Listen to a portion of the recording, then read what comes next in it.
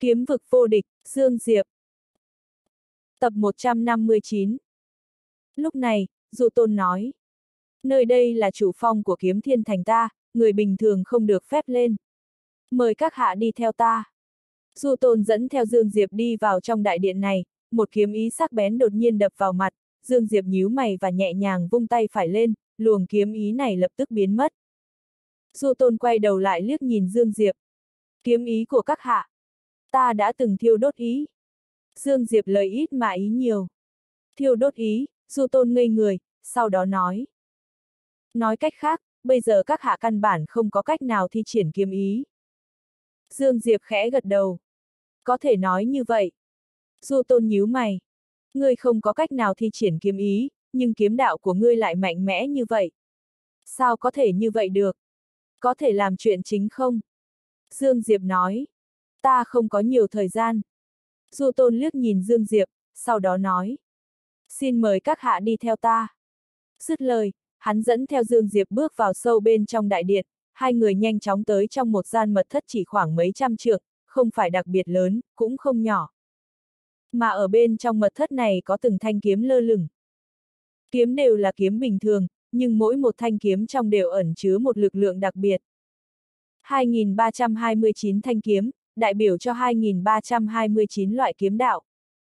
Lúc này, Dụ Tôn nói, những kiếm đạo này đều đến từ những kiếm tu khác nhau, tuy có mạnh có yếu, nhưng phong cách của bọn họ lại đều không giống nhau. Các kiếm đạo có khuyết điểm, cũng có ưu điểm, chỉ có người đạt được tổ cảnh, đồng thời nắm giữ kiếm đạo của mình mới có thể tới đây nghiên cứu tập luyện. Vì sao? Dương Diệp không hiểu. Du Tôn nói, nếu như cảnh giới không đủ, không nắm giữ đạo của mình, tới đây nhất định sẽ rơi vào một loại tình cảnh khốn cùng, bị kiếm đạo của người khác đẩy vào cực hạn của tình cảnh khốn cùng, kể từ đó, người muốn sáng tạo ra kiếm đạo của mình sẽ càng khó hơn.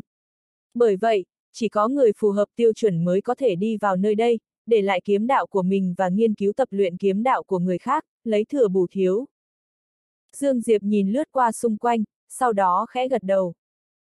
Không thể không nói, kiếm thiên thành của các ngươi quả thật có chỗ độc đáo.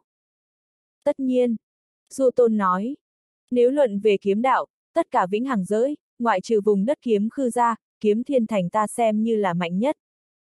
Vùng đất kiếm khư. Dương Diệp nhìn về phía Du Tôn, không hiểu. Du Tôn khẽ nói. Một nơi cổ xưa, sau này có lẽ ngươi có thể thấy được.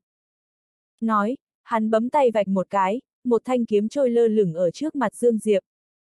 Lưu lại kiếm đạo của ngươi ở trên kiếm này, ngươi lại có thể nghiên cứu tập luyện tất cả kiếm đạo ở đây. Dương Diệp im lặng nhìn thanh kiếm trước mặt mình, sau đó cầm thanh kiếm kia, trong phút chốc, thanh kiếm kia bắt đầu chấn động mãnh liệt, dần dần, ở trong ánh mắt chăm chú của Du Tôn, thanh kiếm kia bắt đầu đỏ lên, không bao lâu, thanh kiếm này lại đỏ như máu, giống như do máu tươi ngưng tụ thành.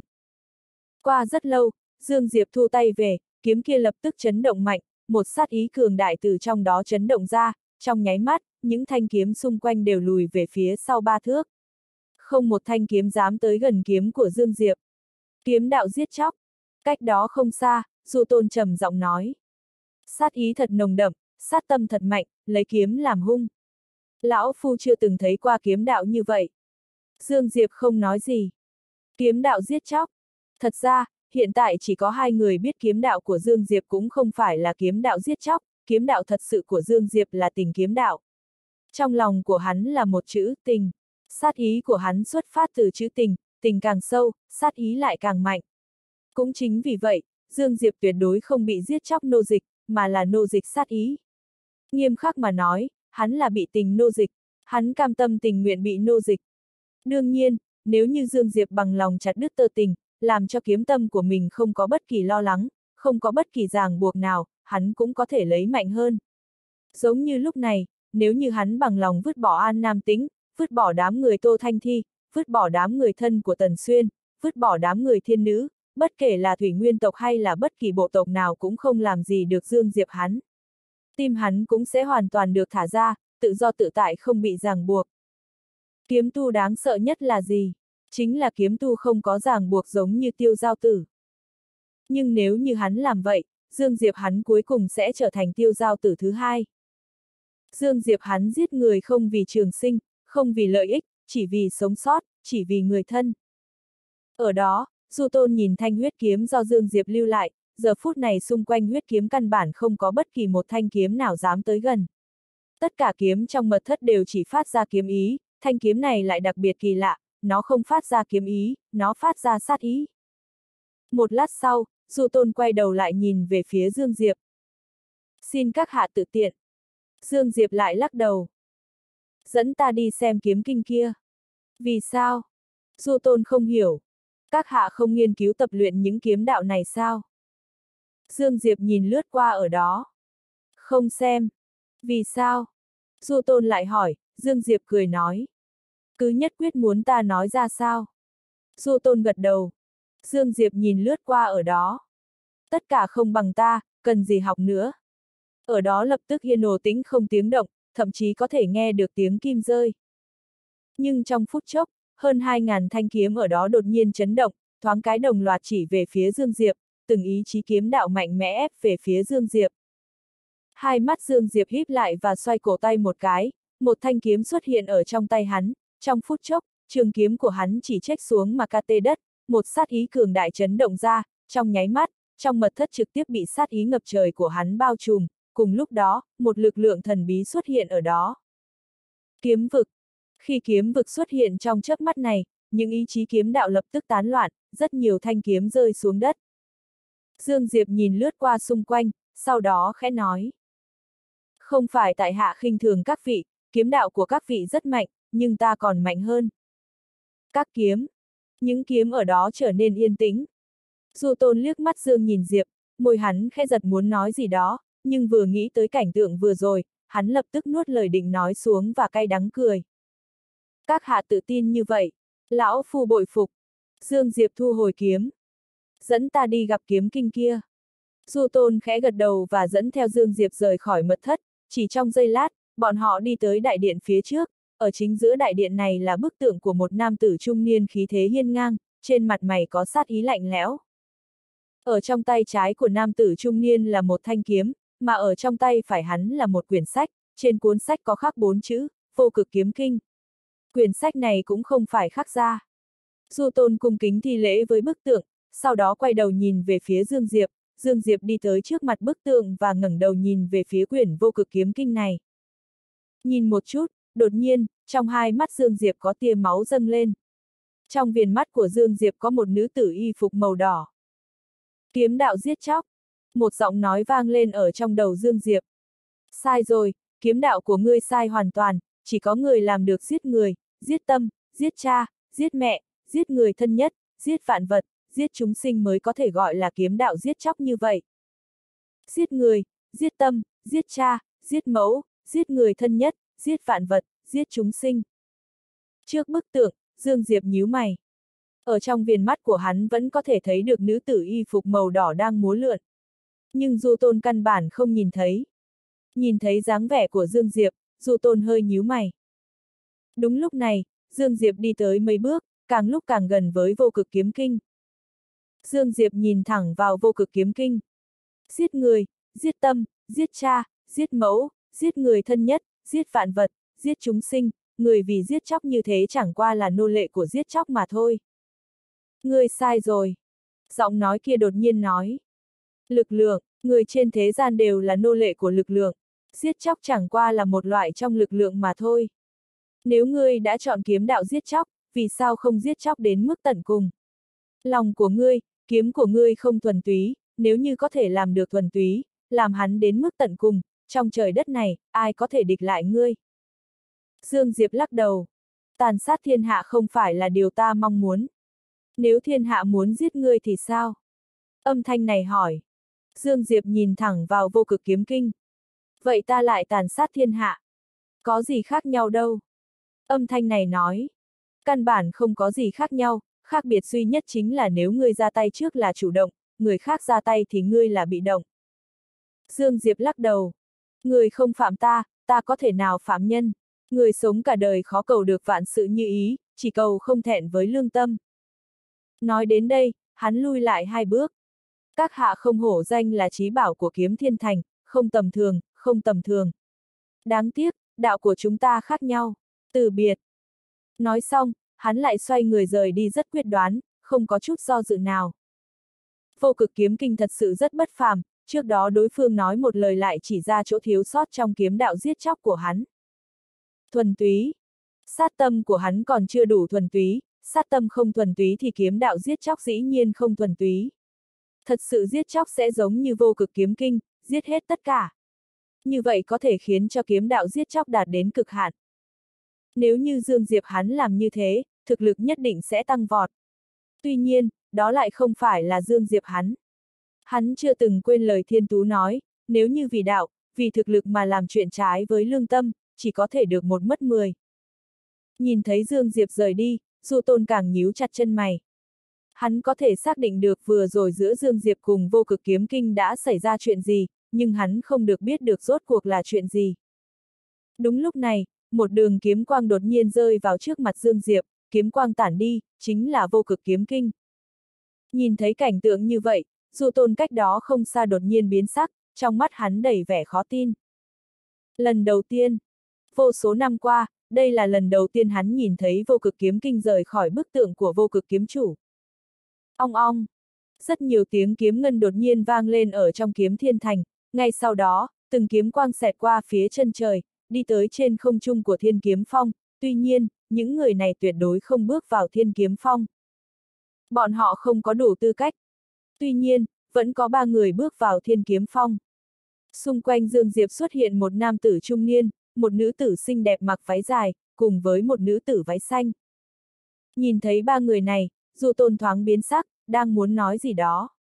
Nhưng nam tử trung tuổi kia lại khẽ lắc đầu, sau đó bọn họ đều nhìn về phía Dương Diệp.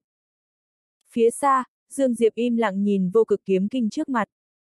Dần dần, nữ tử váy màu đỏ ở trong mắt hắn lại xuất hiện. Mấy vạn năm qua rồi.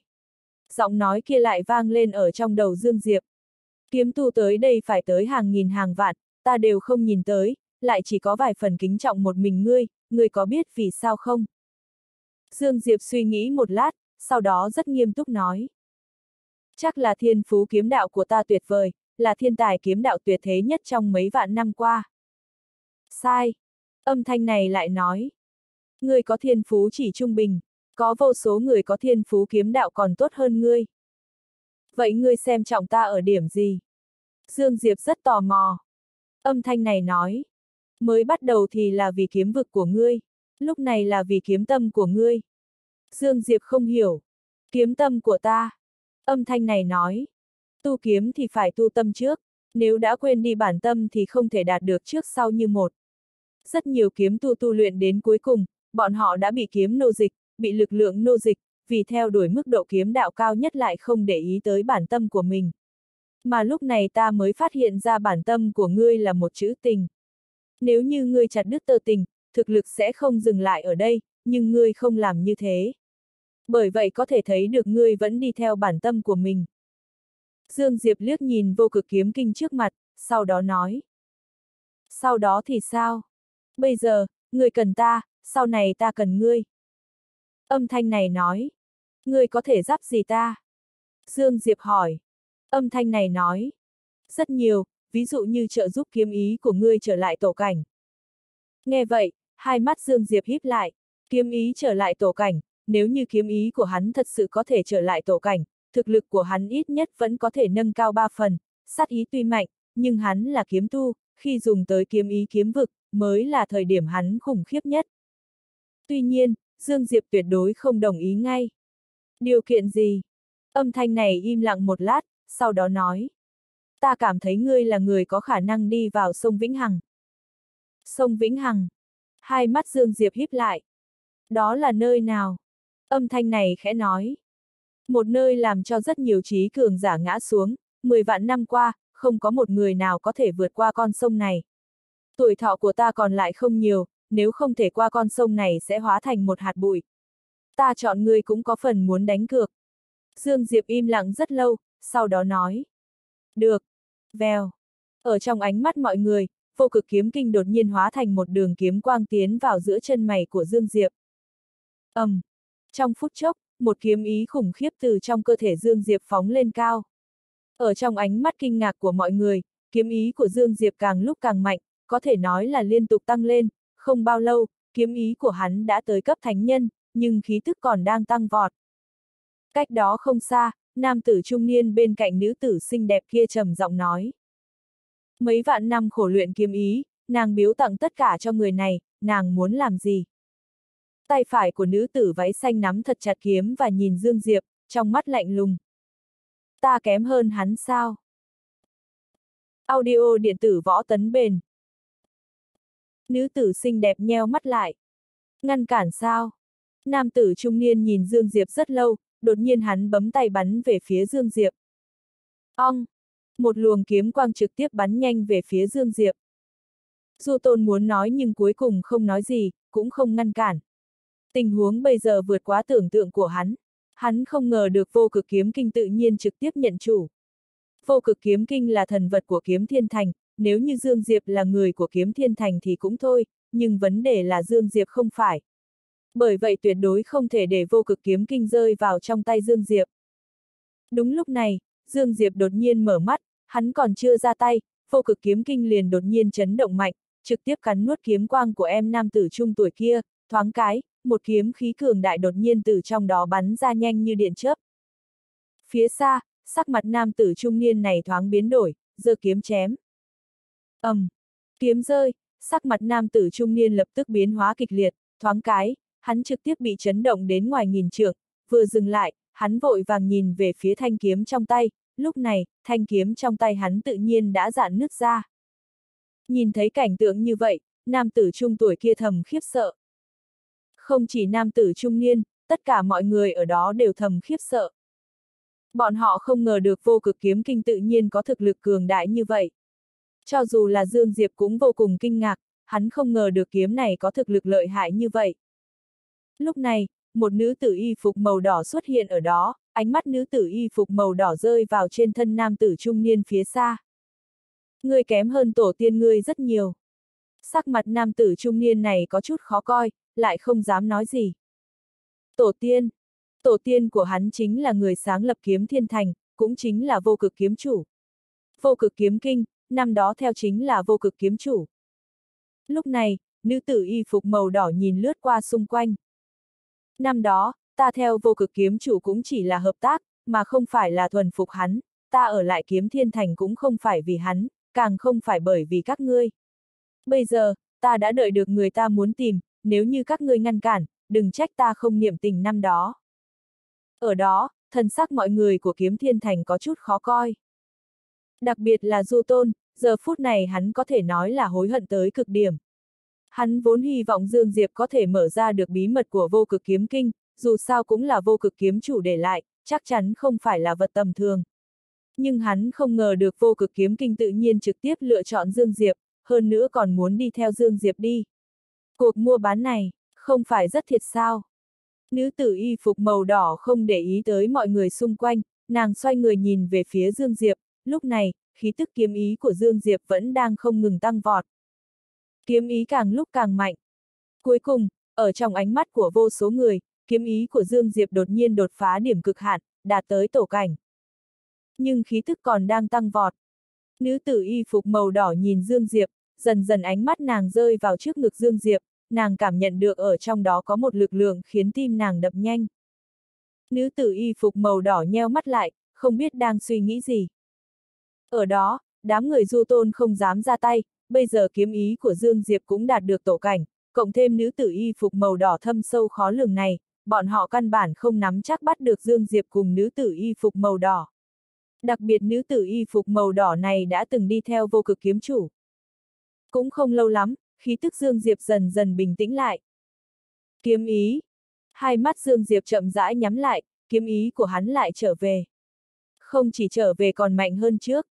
Một lát sau, Dương Diệp mở mắt nhìn về phía nữ tử y phục màu đỏ trước mặt, lúc này, nàng cũng đang nhìn hắn. Dương Diệp đang muốn nói, mà vào lúc này, tất cả thiên kiếm phong đột nhiên chấn động mạnh, ngay sau đó, từng thanh phi kiếm đột nhiên từ trong ba trụ phong lớn của kiếm thiên thành phóng lên cao. Nữ tử y phục màu đỏ nheo mắt lại. Vô cực kiếm trận, xem ra bọn họ không muốn để cho ngươi đi. Rất nhiều thanh kiếm không ngừng xoay quanh bên ngoài thiên kiếm phong, cùng lúc đó, từng khí thức cường đại không ngừng từ xung quanh kiếm thiên thành lao về phía thiên kiếm phong. Trước mặt nữ tử y phục màu đỏ, sắc mặt Dương Diệp không hề thay đổi, không biết đang suy nghĩ gì. Rất nhanh, một lão già xuất hiện ở trước mặt Dương Diệp cùng nữ tử y phục màu đỏ. Người tới chính là Phạm Thiên Dư thành chủ của kiếm thiên thành. Phạm Thiên Dư nhìn nữ tử y phục màu đỏ. Các hạ, người này mặc dù là kỳ tài của kiếm đạo, nhưng trên thân của người này có mang theo mấy món thần vật, mà thế lực mấy phương đều nhất định muốn có mất món thần vật này, các hạ đi theo hắn sẽ không có kết quả tốt đâu. Nữ tử y phục màu đỏ khẽ gật đầu. Ta hiểu rõ ý của ngươi, ngươi muốn ta ở lại chỗ này, đúng không? Phạm Thiên Dư khẽ gật đầu. Các hạ có thể đưa ra bất kỳ điều kiện gì. Nữ tử y phục màu đỏ chỉ vào Dương Diệp. Trong thế hệ trẻ của kiếm thiên thành, nếu như có người có thể chiến thắng được hắn, ta lại ở lại. Vẻ mặt Phạm Thiên Dư có chút khó coi. Chiến thắng Dương Diệp. Với thực lực của Dương Diệp, đừng nói thế hệ trẻ của kiếm thiên thành, cho dù là một ít lão già đã đạt được đạo chân cảnh cũng không nhất định có thể chiến thắng được Dương Diệp. Ta tới. Lúc này, nữ tử váy xanh cách đó không xa đi ra. Phạm Thiên Dư lắc đầu và đang muốn nói, nữ tử váy xanh đã trực tiếp biến mất, nhìn thấy cảnh tượng như vậy, Phạm Thiên Dư biến sắc, mong hãy nương tay. ầm, um, Phạm Thiên Dư vừa dứt lời, một bóng người trực tiếp bay đến ngoài mấy ngàn trượng. Bóng đen này chính là nữ tử váy xanh. Nhìn thớ ly cảnh tượng như vậy, tất cả mọi người ở đó lập tức yên tĩnh. Trong mắt nam tử trung tuổi kia cùng nữ tử xinh đẹp đầy vẻ khó tin, một kiếm. Nữ nhi của bọn bọ cũng có tài năng hơn người, xê nhưng ở trước mặt Dương Diệp này thậm chí không đỡ nổi một kiếm. Phạm Thiên Dư liếc nhìn nữ tử váy xanh thấy đối phương còn sống, trong lòng hắn mới thả lỏng. sau đó nhìn về phía ác Dương Diệp. Lúc này, trong lòng hắn cũng vô cùng chấn động trước một kiếm vừa rồi của Dương Diệp. Thực lực của Dương Diệp còn mạnh hơn trước. Cách đó không xa, trong mắt nữ tử váy xanh đầy vẻ khó tin. Không, không có khả năng, ngươi, ngươi sao có thể như vậy được. Vừa dứt lời, nàng lại muốn ra tay nhưng đã bị nam tử trung tuổi kia cùng nữ tử xinh đẹp ngăn lại. Nhưng nàng vẫn không người kêu gào. Đúng lúc này, Dương Diệp chậm rãi đi về phía nữ tử váy xanh, nhìn thấy cảnh tượng như vậy, đám người Phạm Thiên Dư nheo mắt lại. Dương Diệp không nhìn mọi người xung quanh, rất nhanh, hắn đi tới trước mặt ba người. Nam tử trung tuổi kia cùng nữ tử xinh đẹp nhìn chằm chằm Dương Diệp, chỉ cần Dương Diệp có động tính gì khác thường, bọn họ sẽ ra tay. Dương Diệp nhìn thẳng vào nữ tử váy xanh. Biết vì sao ngươi lại bại không? Nữ tử váy xanh nhìn chằm chằm Dương Diệp, không nói gì. Dương Diệp khẽ cười. Bởi vì ta có phụ thân tốt, hắn không giống cha ngươi cùng mẫu thân ngươi, bảo vệ ngươi quá chặt. Nói xong, hắn nhìn về phía nam tử trung niên cùng nữ tử xinh đẹp trước mặt. Biết vì sao cảnh giới nữ nhi của các ngươi giống ta, lại thậm chí không đỡ nổi một kiếm của ta không? Bởi vì ta có phụ thân tốt, hắn quan tâm ta, nhưng hắn không luôn luôn bảo vệ ta, hắn chỉ dạy ta, mọi chuyện chỉ có thể dựa vào chính mình. Nói xong, Dương Diệp nhìn lướt qua xung quanh. Ta không có thủ địch kiếm thiên thành, cũng không muốn đối địch với kiếm thiên thành. Vô cực kiếm kinh nàng lựa chọn ta, với ta là một kỳ ngộ, là kiếm thiên thành cho ta cơ hội mới có kỳ ngộ này. Ân tình này, ta nhớ kỹ. Nếu ta rời đi như thế, quả thật không thể nào nói nổi.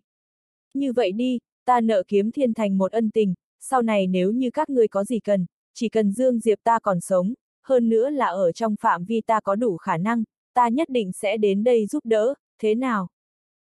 Nhân tình. Ở đó, mọi người sửng sốt, bọn họ không ngờ được Dương Diệp sẽ nói như vậy. Dần dần, vẻ mặt các cường giả kiếm thiên thành ở đó có chút biến hóa vi diệu. Nhân tình. Bọn họ đã thấy được thực lực cùng thiên phú của Dương Diệp, cộng thêm hiện tại hắn có được vô cực kiếm kinh đi theo, nếu như Dương Diệp có thể sống tiếp, sau này nhất định là cường giả siêu cấp một phương. Một nhân tình của cường giả siêu cấp như vậy, không thể nói là không nặng.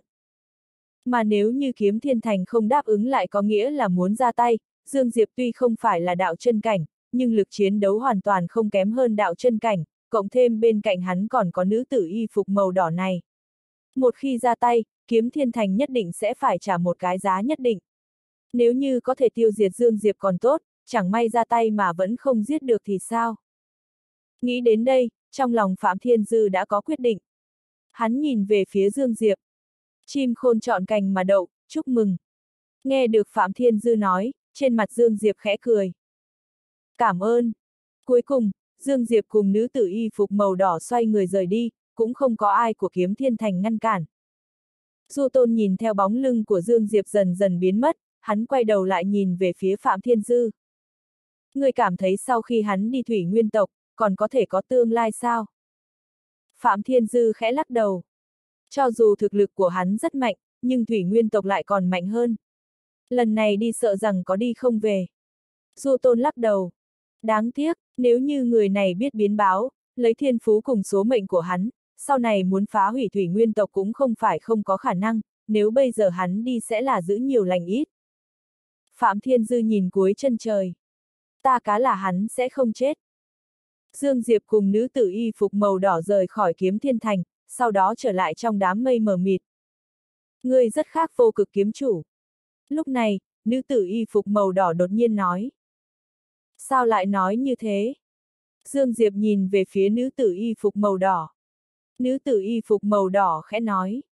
Nếu là hắn, hắn sẽ không đi thủy nguyên tộc, hắn sẽ ẩn nấp điên cuồng tu luyện, chờ thực lực đủ mới đi tới thủy nguyên tộc. Dương Diệp im lặng, nữ tử y phục màu đỏ đang biến tướng khuyên hắn. Một lát sau, Dương Diệp lắc đầu. Ngươi không hiểu. Nữ tử y phục màu đỏ ngẩng đầu nhìn về phía chân trời. Phần thắng của ngươi rất nhỏ. Dương Diệp cười nói. Ta biết. Vậy mà ngươi còn đi. Nữ tử y phục màu đỏ quay đầu lại nhìn về phía Dương Diệp. Hai mắt Dương Diệp chậm rãi nhắm lại. Ta sẽ không bỏ nàng lại, vĩnh viễn sẽ không bao giờ làm vậy. Lần này đi, nếu như có thể cứu nàng ra tất nhiên là tốt, nếu như không thể, vậy thì chết cùng nàng ấy. Nếu không, nàng sẽ cô đơn. Nghe vậy, nữ tử y phục màu đỏ nhìn Dương Diệp. Một nữ nhân mà thôi, lấy thực lực ngươi thì nữ nhân nào mà không tìm được. Dương Diệp khẽ cười. Ngươi không hiểu. Thật ra, hắn biết rõ lấy thực lực của hắn bây giờ mà đi tới thủy nguyên tộc thì đúng là giữ nhiều lành ít. Nhưng hắn có thể không đi sao? Đương nhiên có thể không đi, giống như lời nữ tử y phục màu đỏ nói, chỉ cần hắn ẩn nấp khổ luyện, sau này muốn phá hủy thủy nguyên tộc cũng không phải không có khả năng. Nhưng khi đó An Nam Tĩnh đã chết, cho dù phá hủy thủy nguyên tộc lại có ý nghĩa gì nữa. Nếu như nàng bị thủy nguyên tộc giết. Lúc này, nữ tử y phục màu đỏ đột nhiên hỏi. Dương Diệp liếc nhìn nữ tử y phục màu đỏ. Ta sẽ làm cho bên trong thủy nguyên tộc thậm chí không tìm được một vật gì còn sống. Nói đến đây, hắn ngẩng đầu nhìn về phía thủy nguyên tộc. Cả đời này, Dương Diệp ta còn lại không nhiều người thân. Nếu như ngay cả các nàng cũng không còn, vậy thế đạo này chính là muốn ép Dương Diệp ta vào đường cùng. Vậy ta lại làm cho thế đạo này đi vào đường cùng.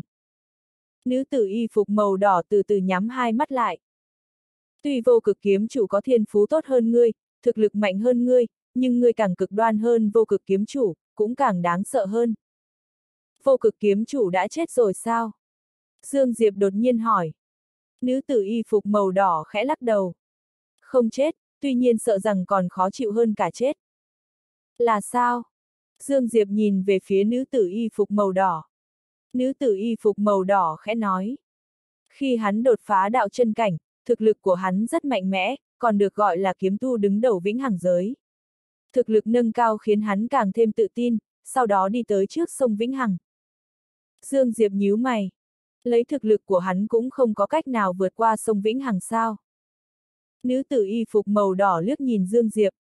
Kém rất xa, đáng tiếc, hắn không nghe ta nói. Nghe vậy, chân mày Dương Diệp càng nhíu chặt, ngay cả cường giả trên đạo chân cảnh cũng không đi qua được, vậy sông Vĩnh Hằng này cuối cùng là cái quỷ gì? Người đi cùng ta tới một chỗ đã. Lúc này, nữ tử y phục màu đỏ đột nhiên nói. Chỗ nào? Dương Diệp không hiểu. Vùng đất kiếm khư. Nữ tử y phục màu đỏ nhìn thẳng vào Dương Diệp. Yên tâm, chúng ta sẽ không cần tốn nhiều thời gian đâu. Chúng ta đi tới đó làm gì? Dương Diệp hỏi. Nữ tử y phục màu đỏ nói. Ta dẫn ngươi đi xem kiếm đạo của những cường giả đỉnh phong nhất trên thế gian. Dương Diệp nói.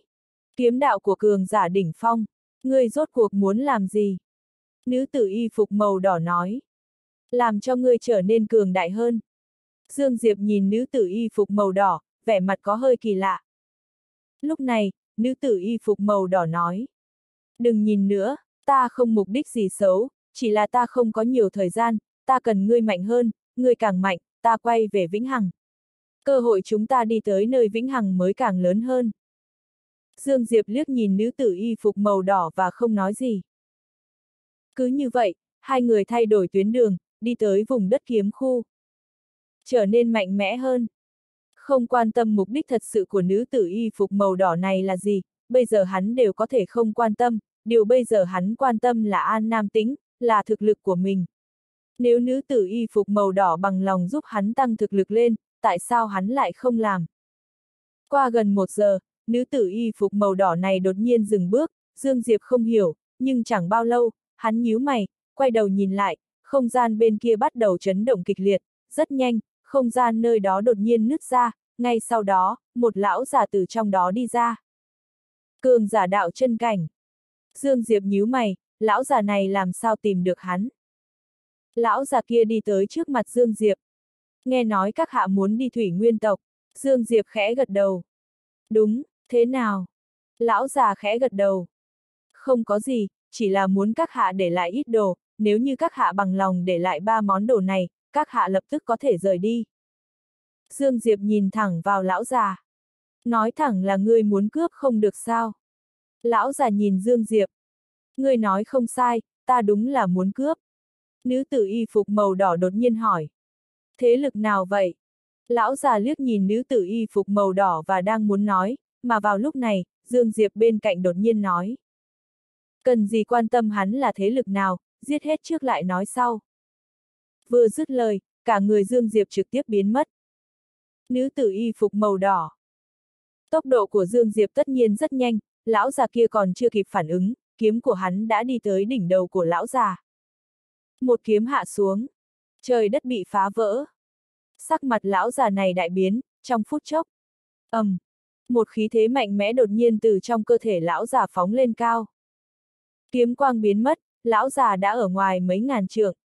Nhưng ở giữa chân mày của lão già đã có một tia máu tươi chậm rãi tràn ra.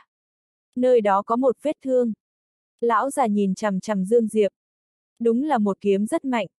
Đúng lúc này, Dương Diệp đột nhiên giơ kiếm cách không bổ về phía lão già. ầm ầm, hai luồng ý cảnh mang theo một đường kiếm khí phá không rời đi, nó đi qua nơi nào, không gian trực tiếp bị chém nát thành nơi tĩnh mịch. Lão già bình tĩnh lại, đối mặt với một kiếm này, trong mắt lão già hoàn toàn không có chút sợ hãi nào, tay phải của hắn nắm chặt thành quyền, trên quyền đột nhiên ngưng tụ ra một tầng băng dày, trong phút chốc, hắn chợt đánh về phía trước. Suy! Một đấm vừa ra, đường kiếm khí kia của Dương Diệp lập tức bị đóng băng, không chỉ có vậy, bên trong không gian mấy trăm trượng trước mặt lão già đều lập tức đóng băng, cả Dương Diệp cũng vậy. Tuy nhiên trong phút chốc, theo một tiếng kiếm ngân vang lên. Những hàn băng xung quanh lập tức nổ tung ra, hóa thành một vụn băng rơi xuống đất. Nhìn thấy cảnh tượng như vậy, trong mắt lão già kia chợt lóe lên sự tàn ác, thoáng cái, hắn chợt dẫm mạnh chân phải một cái, cả người hóa thành một hàn băng chợt bắn ra. Mà ở đối diện hắn, Dương Diệp cũng lập tức biến mất. ầm, um, trong đám mây phía chân trời có một tiếng nổ lớn ầm ầm vang lên, trong nháy mắt, mây trắng trong mấy vạn dặm biến mất không thấy bóng dáng, Dương Diệp cùng lão già kia chỉ vừa va chạm đã tách ra. Lão già lui đủ vạn trượng mới dừng lại, Dương Diệp lại lui hơn một vạn trượng. Trong lần giao phong này, hiển nhiên là Dương Diệp thua. Nhưng Dương Diệp lại rất bình tĩnh, ngược lại, vẻ mặt lão già kia rất nghiêm trọng. Bởi vì hắn là đạo chân cảnh, Dương Diệp chỉ là tổ cảnh. Dương Diệp cúi đầu nhìn trước ngực của mình, ở quanh người hắn có một tầng hàn băng mỏng, không thể không nói, hàn băng này quả thật rất mạnh, cho dù là hai tầng ý cảnh cũng không có cách nào hoàn toàn chống đỡ những hơi lạnh tới gần hắn. Dương Diệp nhẹ nhàng giẫm chân phải một cái, trong phút chốc, những hàn băng quanh người hắn lập tức biến mất. Hắn ngẩng đầu nhìn về phía lão già kia và cười mỉm. Tiếp tục tới đi. Dứt lời, Dương Diệp đột nhiên giơ tay lên, mà giây phút khi tay hắn hạ xuống, kiếm lại đi tới đỉnh đầu của lão già này. Lão già kia phản ứng cũng không chậm, chân phải nhẹ nhàng điểm một cái, người đã xuất hiện cách nghìn trượng, nhưng hắn vừa dừng lại, kiếm của Dương Diệp đã ở rất gần đỉnh đầu hắn rồi. Giờ phút này, sắc mặt lão già cuối cùng thay đổi. Khi kiếm sắp rơi vào trên đầu lão già, đôi tay hàn băng đột nhiên kẹp lấy thanh kiếm của Dương Diệp, kiếm của Dương Diệp vừa chém tới trên đầu lão già kia liền ngừng lại. Kiếm vào nửa tấc thịt, nhưng không có cách nào hạ xuống. ở đó giống như đông cứng lại. Lão già nhìn chằm chằm Dương Diệp, từng hơi lạnh từ trong cơ thể lão già điên cuồng tuôn ra, rất nhanh, kiếm của Dương Diệp bắt đầu bị ngưng kết thành băng, Dương Diệp hơi cong khóe miệng, trong phút chốc, hắn chậm rãi nhắm hai mắt lại, toàn thân hắn trực tiếp trở nên mờ ảo, không giống người của thế giới này. Kiếm vực. Khi Dương Diệp thi triển ra kiếm vực, sắc mặt lão già này không ngừng biến hóa kịch liệt, lúc này, kiếm của Dương Diệp đột nhiên chấn động mạnh và chém xuống. Suy. Theo đôi bàn tay bay ra ngoài, lão già kia trực tiếp bị chấn động đến hơn vạn trượng. Dương Diệp đang muốn tiếp tục ra tay, mà vào lúc này, hắn đột nhiên nhíu mày và quay đầu nhìn lại, nơi đó có một thanh trường thương đột nhiên xuyên qua không trung lao đến, bên trong tròng mắt Dương Diệp lóe lên một tia sáng sắc bén, ngay sau đó, hắn giơ tay lên và đâm một cái. Khi kiếm đâm vào trên thanh trường thương này, cánh tay hắn lập tức cảm thấy tê dại, mà vào lúc này, một chân đột nhiên đá vào lồng ngực của hắn, Dương Diệp nhanh tay nhanh mắt, tay trái trực tiếp nắm lấy cái chân kia và bay lên đá một phát. Am am. Hai tiếng động nặng nề vang lên ở trong không trung, ngay sau đó, hai bóng người bay ngược ra. Ngoài nghìn trượng, tay phải của Dương Diệp đẩy nhẹ về phía trước, cả người hắn lập tức ngừng lại, ở cách hắn không xa có một nữ tử mặc giáp mềm màu bạc đang đứng, trong tay cầm trường thương, vẻ mặt lạnh lùng. Tổ cảnh. Nữ tử trước mắt này không phải là cường giả đạo chân cảnh, mà là tổ cảnh, tuổi tác của đối phương cũng tương dương với hắn, Dương Diệp liếc nhìn nữ tử và lão già kia. Một phe à, không đúng, các ngươi không phải là một phe. Bởi vì lão già kia rõ ràng có vẻ đề phòng nữ tử mới xuất hiện. Lão già liếc nhìn nữ tử mặc giáp bạc này, sau đó nhìn về phía Dương Diệp. Dương Diệp, ta khuyên ngươi tốt nhất đừng đi thủy nguyên tộc, như vậy ngươi còn có thể sống thêm một thời gian.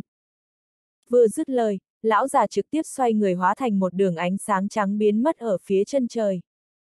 Mà vào lúc này, Dương Diệp đột nhiên biến mất, lúc xuất hiện lần nữa thì đã ở phía xa. Nữ tử mặc giáp bạc này đột nhiên quay đầu lại nhìn về phía chân trời và nhíu mày. Phía chân trời xa xôi, lão già vừa rời đi đột nhiên biến sắc và chợt xoay người, mà lúc này lại có một thanh kiếm đã lao tới. Kiếm vực. Kiếm vực đã được gia tăng hai loại ý cảnh đỉnh phong, một kiếm hạ xuống lặng lẽ không một tiếng động nhắm thẳng vào lão già. Một kiếm này mạnh hơn bất kỳ một kiếm nào vừa rồi. ầm, um, một luồng khí lạnh đột nhiên từ trong cơ thể lão già cuốn ra ngoài, trong nháy mắt, toàn thân hắn bị một tầng hàn băng dày bao trùm, cùng lúc đó, một luồng khí lạnh phóng lên cao, bao phủ lấy Dương Diệp. Dương Diệp không hề né tránh, vẫn hạ kiếm xuống. ầm, um, một kiếm này trực tiếp cắt đôi hàn băng trên cơ thể của lão già kia, mà khi kiếm của Dương Diệp từ đỉnh đầu của lão già cắt xuống, một bóng đen đột nhiên từ trong cơ thể lão già nhanh chóng hiện ra, biến mất ở phía chân trời. Suy, cơ thể của lão già lập tức bị cắt ra làm hai, nhưng linh hồn đã rời khỏi cơ thể và biến mất ở cuối chân trời. Dương Diệp không đuổi theo, bởi vì ở khóe miệng hắn đã có một dòng máu tươi chậm rãi chảy ra. Vừa rồi, hắn cứng rắn chịu một đòn của lão già kia, đây là cái giá phải trả để một kiếm chém giết cơ thể của lão già kia.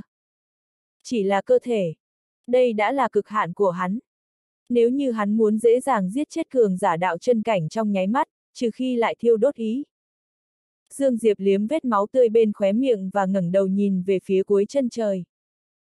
Ta nói cho các người biết, không quan tâm các ngươi là thế lực phương nào, chỉ cần các ngươi dám đến thì lão tử lại dám giết. Im lặng trong chớp mắt, một giọng nói từ phía chân trời truyền đến. Ta sẽ chờ xem. Dương Diệp lạnh lùng nói. Vậy cứ chờ đi. Vừa dứt lời, hắn quay đầu lại nhìn về phía nữ tử mặc giáp bạc này thấy nàng nắm thật chặt trường thương trong tay, vẻ mặt đề phòng. Các ngươi không muốn để cho ta đi thủy nguyên tộc. Dương Diệp nói. Để cho ta đoán thử nào. Chắc là có hai nguyên nhân, đầu tiên là mong có được ba món thần vật này, thứ hai chắc là không muốn thủy nguyên tộc thu được, đúng không? Đúng. Nữ tử kia nhìn thẳng vào Dương Diệp với vẻ mặt đề phòng, nhưng không hề sợ hãi. Không muốn thủy nguyên tộc thu được. Hai mắt Dương Diệp chậm rãi nhắm lại. Sáu tộc, năm tộc còn lại đã bắt đầu ra tay, phải không? Nữ tử nói. Không chỉ vậy. Không chỉ vậy. Dương Diệp nhìn về phía nữ tử thấy nàng nói. Ngươi không đến được thủy nguyên tộc, cho dù đến cũng chết thôi. Ngươi có đề nghị gì? Dương Diệp hỏi. Nữ tử nói. Giao ra ba món thần vật này, sau đó cao chạy xa bay. Dương Diệp mỉm cười. Dương Diệp ta cả đời từng chịu khổ, từng đau đớn, nhưng ta chưa từng sợ hãi. Nữ tử nhìn Dương Diệp rất lâu, sau đó nói. Vậy chúng ta cứ chờ xem. Vừa dứt lời, nàng trực tiếp biến mất. Ở đó chỉ còn Dương Diệp cùng nữ tử y phục màu đỏ. Dương Diệp thu hồi kiếm nhìn về phía nữ tử y phục màu đỏ. Đi thôi. Nói xong, Dương Diệp trực tiếp biến mất ở phía xa. Nữ tử y phục màu đỏ im lặng trong chớp mắt, sau đó khẽ nói. Sợ rằng ta còn chưa hết tuổi thọ đã phải bỏ mạng rồi. Làm người không thể làm như thế đâu, nàng nói xong liền lắc đầu, sau đó cũng lập tức biến mất theo. Sau khi hai người Dương Diệp biến mất, nữ tử mặc giáp bạc này lại xuất hiện ở đó, mà ở trước mặt nữ tử mặc giáp bạc còn có một nam tử trung niên đang đứng. Nam tử trung niên liếc nhìn theo hướng Dương Diệp cùng nữ tử y phục màu đỏ rời đi, sau đó nói. Người không ra tay là chính xác, thực lực của người này vô cùng mạnh. Nữ tử mặc giáp bạc trầm giọng nói. Phụ thân, thật ra lạc ly gia ta không nhất thiết phải cuốn vào trong đó, cứ để cho sáu tộc còn lại đi tranh chẳng phải tốt hơn sao. Nam tử trung niên khẽ lắc đầu. Không thể nghĩ như vậy được, nếu như lạc ly gia ta không tham dự sẽ chỉ có hai loại kết quả. Thứ nhất là mấy nhà còn lại cũng sẽ không tham dự, bọn họ sẽ không để cho người khiến làm hoàng tước ở phía sau. Loại thứ hai, mấy tộc còn lại tranh đoạt, nhưng bọn họ sẽ cố ý nhằm vào lạc ly gia ta. Còn nữa, nếu như ba món thần vật này rơi vào trong tay của thủy nguyên tộc, sợ rằng thủy nguyên tộc sẽ dẫn đầu sáu tộc. Tương tự, nếu như ba món thần vật này rơi vào trong tay lạc ly gia ta, sợ rằng có tai ương ngập đầu. Nữ tử mặc giáp bạc đột nhiên nói tiếp. Cũng không phải. Nam tử trung niên lắc đầu. Tiên phủ có thực lực mạnh như vậy, bá đạo như vậy, nhưng vì sao thế lực còn lại không dám đi nhằm vào bọn họ? Khi thực lực cường đại đến trình độ nhất định, người khác chắc chắn sẽ không nhằm vào ngươi, chỉ biết thừa nhận ngươi. Nữ tử mặc giáp bạc nhíu mày. Chỉ là ba món thần vật mà có thể làm cho gia tộc sánh vai tiên phủ sao? Có thể. Nam tử trung niên khẽ nói. Búa khai thiên hồng hoang có thể. Nữ tử mặc giáp bạc trầm giọng nói. Nhưng Dương Diệp người này rất đáng sợ. Nam tử trung niên khẽ cười nói. Nếu như hắn hiểu tiến lui, thức thời, ta thật sự còn sợ hãi hắn ba phần. Nhưng ngươi thấy chưa, người này căn bản không hiểu tiến lui, vì một nữ nhân mà muốn cứng rắn chống lại thủy nguyên tộc, người như thế chẳng qua là một kẻ hữu dũng vô mưu mà thôi, căn bản không đáng để lo. Bất kể thế nào, lần này, Lạc Ly gia ta đều phải tranh một lần. Nữ tử mặc giáp bạc im lặng không nói, nhưng ở trong mắt nàng lại có một tia lo lắng. Qua một canh giờ sau, Dương Diệp cùng nữ tử y phục màu đỏ ngừng lại. Ở trước mặt hai người là một mảnh dãy núi mịt mờ, trụi lùi không có bất kỳ cây cối nào, nhìn qua rất u ám. Đây là vùng đất kiếm khư sao? Dương Diệp hỏi. Nữ tử y phục màu đỏ khẽ gật đầu. Chúng ta đi thôi. Hai người đang muốn đi, mà vào lúc này có từng tiếng xé gió đột nhiên vang lên ở trong không trung. Dương Diệp quay đầu lại thấy ở bên phải cách đó không xa đã xuất hiện một nữ tử mặc váy vải, hai tay hai chân nàng đều có xích sắt quấn quanh, tay để lộ, chân trần. Mà trên lưng ở nữ tử này lưng một thanh kiếm cực lớn. Kiếm còn lớn hơn cả người nữ tử này rất nhiều. Trong tay nữ tử là lại một cây chổi, nàng đang quét một tấm mộ bia không biết tên. Nữ tử y phục màu đỏ quay đầu lại nhìn về phía Dương Diệp. Đối phó với nàng. Dương Diệp. Đối phó với nàng. Dương Diệp nhìn nữ tử mặc váy vải và do dự một lúc mới nói. Hai người chúng ta có thể vào không? Không thể. Nữ tử mặc váy vải cũng không ngẩng đầu lên nói. Sắc mặt Dương Diệp trầm xuống. Nếu như chúng ta cứ muốn đi vào thì sao? Đúng lúc này, trổi trong tay nữ tử mặc váy vải ngừng lại, nàng ngẩng đầu nhìn về phía Dương Diệp, trong phút chốc, tay phải của nàng cầm thanh kiếm lớn sau người, thoáng cái nàng rút kiếm và bước nhanh về phía Dương Diệp. Kiếm lớn kéo trên mặt đất. Một đường tia lửa văng ra khắp nơi. Hai mắt Dương Diệp híp lại, tay phải cầm chuôi kiếm bên thắt lưng. Có thể nói tốc độ của nữ tử mặc váy vải là rất chậm, giống như một người bình thường đang chạy vậy. Nhưng sắc mặt Dương Diệp lại dần dần nghiêm trọng, nữ tử mặc váy vải càng gần hắn, áp lực lại càng lớn, cuối cùng đã khiến hắn gắp nghẹt thở. Khí thế thật là mạnh. Dương Diệp đột nhiên rút kiếm chém ra một phát. Suy! Kiếm quang từ trên chém xuống. Mà vào lúc này, cơ thể của nữ tử mặc váy vải đột nhiên cách mặt đất nửa thước, thoáng cái, thanh kiếm lớn trong tay nàng chợt đập xuống. ầm, um, Dương Diệp trực tiếp cả người và kiếm bị chấn động, đẩy đến hơn vạn trượng. Dương Diệp nhìn tay phải của mình, trong mắt đầy vẻ kinh hãi, cái tay này của hắn cùng nửa người đều đã tê dại, không hề có cảm giác. Lực lượng thật là mạnh. Trước đây hắn chưa từng gặp qua. Đúng lúc này, Dương Diệp đột nhiên ngẩng đầu, thấy nữ tử mặc váy vải đột nhiên xuất hiện ở trước mặt của mình. Mà giờ phút này, kiếm lớn trong tay nàng đã được dắt ở trên lưng, mà ở trong tay nàng là một thanh kiếm nhỏ như sợi tóc. Kiếm quang liên tục chấp hiện. Sắc mặt Dương Diệp biến đổi, trong phút chốc, hắn trực tiếp thi triển ra kiếm vực. Suy suy suy suy. Mấy đường máu tươi bắn ra, vừa thấy máu, nữ tử mặc váy vải cũng đã lui về chỗ cũ. Thanh kiếm nhỏ ở trong tay nàng đã biến mất, thay vào đó là một cây chổi. Cách đó không xa, Dương Diệp đứng trên không trung, ở trên người hắn có gần 10 vết kiếm. Dương Diệp nhìn nữ tử mặc váy vải phía xa với vẻ mặt vô cùng nghiêm trọng. Tốc độ một kiếm vừa rồi của nàng nhanh đến trình độ nào? Hắn cũng sắp không cảm giác được rồi. Nếu như không phải có kiếm vực, vừa rồi hắn chắc chắn phải chết. Bởi vì tốc độ kiếm của đối phương đã vượt quá phản ứng của hắn. Chấn động. Lần đầu tiên Dương Diệp nhìn thấy có người nắm giữ lực lượng cường đại như vậy còn nắm giữ tốc độ cùng tốc độ kiếm nhanh như vậy. Một lần dốc hết toàn lực, duy trì tốc độ nhanh mà không hỏng, nữ nhân này đều có. Lúc này, nữ tử y phục màu đỏ bên cạnh Dương Diệp đột nhiên nói. Nàng còn chưa dùng kiếm ý. Biểu tình Dương Diệp cứng đờ và liếc nhìn nữ tử mặc váy vài cách đó không xa. Lúc này hắn mới nhớ ra vừa rồi nàng căn bản không có thi triển kiếm ý. Lúc này, nữ tử mặc váy vải liếc nhìn nữ tử y phục màu đỏ. Kiếm kinh, hắn là người ngươi chọn sao? Nữ tử y phục màu đỏ khẽ gật đầu.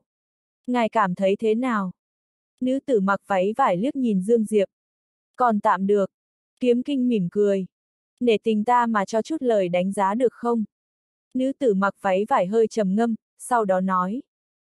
Lực chiến đấu không hợp cùng tuổi tác, bằng chừng ấy tuổi mà có thực lực như thế, thế gian hiếm có. Khuyết điểm. Kiếm kinh nhìn thẳng vào nữ tử mặc váy vải. Nữ tử mặc váy vải im lặng một lát, sau đó nói. Có chút nóng này, có hơi tạp, kiếm tạp, tâm càng tạp hơn, nếu có thể vứt bỏ tạp niệm, tâm kiếm đồng nhất thì thực lực có thể tiến thêm một bước. Kiếm kinh nhìn về phía Dương Diệp, Dương Diệp hơi thi lễ với nữ tử mặc váy vải. Đa tạ tiền bối đã chỉ điểm. Nữ tử mặc váy vải liếc nhìn Dương Diệp. Tâm tính rất tốt, thế gian hiếm có. Kiếm kinh cũng không nhìn được liếc nhìn Dương Diệp, trong mắt kèm theo một chút tán thưởng cùng kinh ngạc. Thái độ của Dương Diệp, làm cho nàng cùng nữ tử mặc váy vải đều có chút bất ngờ. Thanh niên thiên tài như Dương Diệp tuyệt đối là người tâm cao khí ngạo, cũng chính bởi vậy nên thường không chịu thua, nhưng các nàng không ngờ nghe nữ tử mặc váy vải đánh giá như vậy, Dương Diệp không chỉ không biểu hiện ra bất kỳ bất mãn nào, trái lại còn khiêm tốn tiếp nhận. Đây cũng là nguyên nhân vì sao nữ tử mặc váy vải lại nói một câu, tâm tính rất tốt, thế gian ít có. Đúng lúc này, Dương Diệp đột nhiên nói. Tiền bối, thế nào là tâm kiếm đồng nhất, xin chỉ giáo cho. Nữ tử mặc váy vải liếc nhìn Dương Diệp, sau đó nói. Chuyên tâm, khi ra kiếm phải chuyên ra kiếm, lúc kiếm rơi, chuyên rơi kiếm. Nếu như lúc người ra kiếm nghĩ tới rơi kiếm, lúc rơi kiếm nghĩ tới lần ra kiếm tiếp theo thì tâm lại tạp. Tâm tạp thì kiếm lại tạp, cái này cũng muốn, cái kia cũng muốn, kết quả là rất có khả năng nghĩ của uổng công. Một là một, hai chính là hai, người hiểu ý của ta không? Dương Diệp khẽ gật đầu. Hiểu rõ. Kiếm tạp. Hắn thật sự hiểu rõ hai chữ này. Có thể nói lúc này hắn giống như được xối nước. Giống như lời nữ tử mặc váy vải nói, trước đó khi ra tay với người khác, tim hắn có chút tạp. Khi ra một kiếm này thì nên toàn lực phát huy lực lượng cùng tốc độ của một kiếm này, mà không phải suy nghĩ tới kiếm tiếp theo hoặc gì khác. Đây cũng chính là chuyên mà nữ tử mặc váy vải đã nói. Chuyên nhất. Đây là một đạo lý nhỏ, huyền giả mới vừa vào đi đều hiểu được. Nhưng càng là đạo lý nhỏ lại càng dễ bị người ta quên. Lúc này, kiếm kinh đột nhiên nói. Ta tới lấy vật kia. Nữ tử mặc váy vải hơi trầm ngâm, sau đó nói. Hắn có thể khống chế được sao? Kiếm kinh nói. Để cho hắn thử xem. Nữ tử mặc váy vải im lặng rất lâu, sau đó nói. Hắn có thể sẽ chết đấy. Kiếm kinh quay đầu lại nhìn về phía Dương Diệp. Ngươi sợ chết không? Dương Diệp đặc biệt nghiêm túc gật đầu. Sợ. Kiếm kinh. Nữ tử mặc váy vải im lặng nhìn Dương Diệp. Mà vào lúc này, Dương Diệp đột nhiên hỏi. Vật kia có thể nâng cao thực lực của ta sao? Kiếm kinh khẽ gật đầu. Nó có thể nâng cao kiếm ý của ngươi lên một cấp trong khoảng thời gian ngắn, mà nếu như kiếm ý của ngươi đạt được đạo chân cảnh, nó còn có thể nâng cao một cấp, cho dù kiếm ý của ngươi đạt tới trên đạo chân cảnh, nó vẫn có thể nâng cao kiếm ý của ngươi lên một cấp. Nghe vậy, sắc mặt Dương Diệp thay đổi. Có thần vật như thế sao? Kiếm kinh khẽ gật đầu. Có, nhưng ngươi dám lấy sao? Rất nguy hiểm à? Dương Diệp hỏi. Kiếm kinh khẽ gật đầu. Vô cùng nguy hiểm, ngươi dám liều mạng một lần sao? Dương Diệp suy nghĩ một hồi, sau đó khẽ ồ gật đầu. Liều, nam nhân không liều thì sao được? Kiếm kinh khẽ gật đầu. Vậy ngươi tiến vào trong đi. Ngươi thì sao? C. Dương Diệp hỏi. Kiếm kinh nói. Ta sẽ tới sau. Dương Diệp liếc nhìn kiếm kinh, sau đó đang muốn ngự kiếm bước vào dãy núi cơ mịt mờ này, lúc này, kiếm kinh đột nhiên nói. Đi bộ sẽ có lợi cho ngươi. Dương Diệp do dự một lúc, sau đó bỏ qua ngự kiếm, đi bộ đi về phía dãy núi. Khi Dương Diệp biến mất ở trong dãy núi phía xa, nữ tử mặc váy vải đột nhiên nói. Trong cơ thể hắn có một vật nguy hiểm. Búa khai thiên hồng hoang. Kiếm kinh nói. Chắc là vật này. Nữ tử mặc váy vải nhìn về phía kiếm kinh. Hắn càng khó khống chế hơn vô cực kiếm chủ năm đó. Kiếm kinh từ từ nhắm hai mắt lại. Không ai thích hợp hơn hắn. Cho dù có, ta cũng không có thời gian chờ đợi. Nữ tử mặc váy vải khẽ lắc đầu. Sao không để xuống? Kiếm kinh khẽ nói. Hủy đi bản thể của ta, trục xuất ta, nếu là ngươi, ngươi có thể bỏ xuống được sao? Nữ tử mặc váy vải lắc đầu. Năm đó ngươi từng giúp đỡ ta, ta mới nói thêm một câu, người này có thủ đoạn độc ác còn vượt trội hơn cả vô cực kiếm chủ năm đó. Quan trọng nhất là hắn có mấy món thần vật, là người có khí vận lớn, nếu ngươi thất bại, hắn. Ta không có lựa chọn nào nữa. Kiếm kinh nói. Không thành công thì sẽ thành nhân. Nữ tử mặc váy vải khẽ gật đầu. Cẩn thận cái búa khai thiên này. Nói xong, nàng xoay người rời đi. Kiếm kinh im lặng. Sau khi Dương Diệp bước vào trong dãy núi mênh mông, dần dần, hắn cảm nhận được vô số loại kiếm ý không chỉ ở quanh người hắn, còn ở dưới chân hắn, hắn càng đi sâu vào bên trong, những kiếm ý này càng lúc càng mạnh. Nơi kỳ lạ. Dương Diệp nhìn lướt qua xung quanh, hắn hơi tò mò về vùng đất kiếm khư này. Đi gần một giờ, kiếm ý xung quanh càng lúc càng mạnh, những kiếm ý đã tạo áp lực cho hắn nhưng cũng không phải quá mạnh mẽ. Lại qua một canh giờ sau, Dương Diệp cảm thấy mỗi bước đều khó khăn. Kiếm ý xung quanh càng lúc càng ít, nhưng lại càng lúc càng mạnh. Lúc này hắn đối mặt với mấy đạo kiếm ý, mỗi một đạo đều không kém kiếm ý của hắn. Mấy đạo kiếm ý này đều là kiếm ý tổ cảnh. Dương Diệp càng chạy càng kinh ngạc. Lại qua một giờ. Lúc này, mỗi một bước Dương Diệp đi đều cực kỳ gian nan. Ở trước mặt hắn có một kiếm ý cường đại đang đè ép. Kiếm ý đạo chân cảnh. Bây giờ hắn đối mặt với kiếm ý này chính là kiếm ý đạo chân cảnh. Giờ phút này, hắn cảm nhận được rõ ràng sự khác biệt giữa kiếm ý đạo chân cảnh cùng kiếm ý tổ cảnh. Nhưng Dương Diệp tuyệt đối không buông tha, tiếp tục đi về phía trước, mỗi lần hắn bước ra một bước, áp lực lại càng mạnh, về sau hắn bước thêm một bước, cơ thể lại nổ tung một tấc. Máu tươi chảy ròng ròng. Tuy kiếm ý của hắn bị kiếm ý đạo chân cảnh áp chế nhưng không chịu thua, vẫn đang ngoan cường chống lại. Cứ như vậy, qua hai canh giờ sau, Dương Diệp chỉ đi được không đến 10 bước. Đủ rồi. Một giọng nói đột nhiên vang lên ở bên tai Dương Diệp, kiếm ý trước mặt Dương Diệp lập tức biến mất. Kiếm kinh đã xuất hiện ở trước mặt Dương Diệp. Người cảm nhận được chưa? Dương Diệp khẽ gật đầu. Kiếm kinh lại lắc đầu. Người chưa hoàn toàn cảm nhận được, tuy nhiên ngươi cũng không có thời gian nữa. Sau này nếu như ngươi có thể từ thủy nguyên tộc sống sót trở về, hãy tới đây cố gắng cảm nhận một chút. Ở đây là bí cảnh thánh địa còn sót lại không nhiều của vĩnh hằng giới. Dương Diệp đột nhiên hít sâu một hơi. Lúc này, hắn được hồng mông tử khí chữa trị nên sắc mặt đã khôi phục bình thường.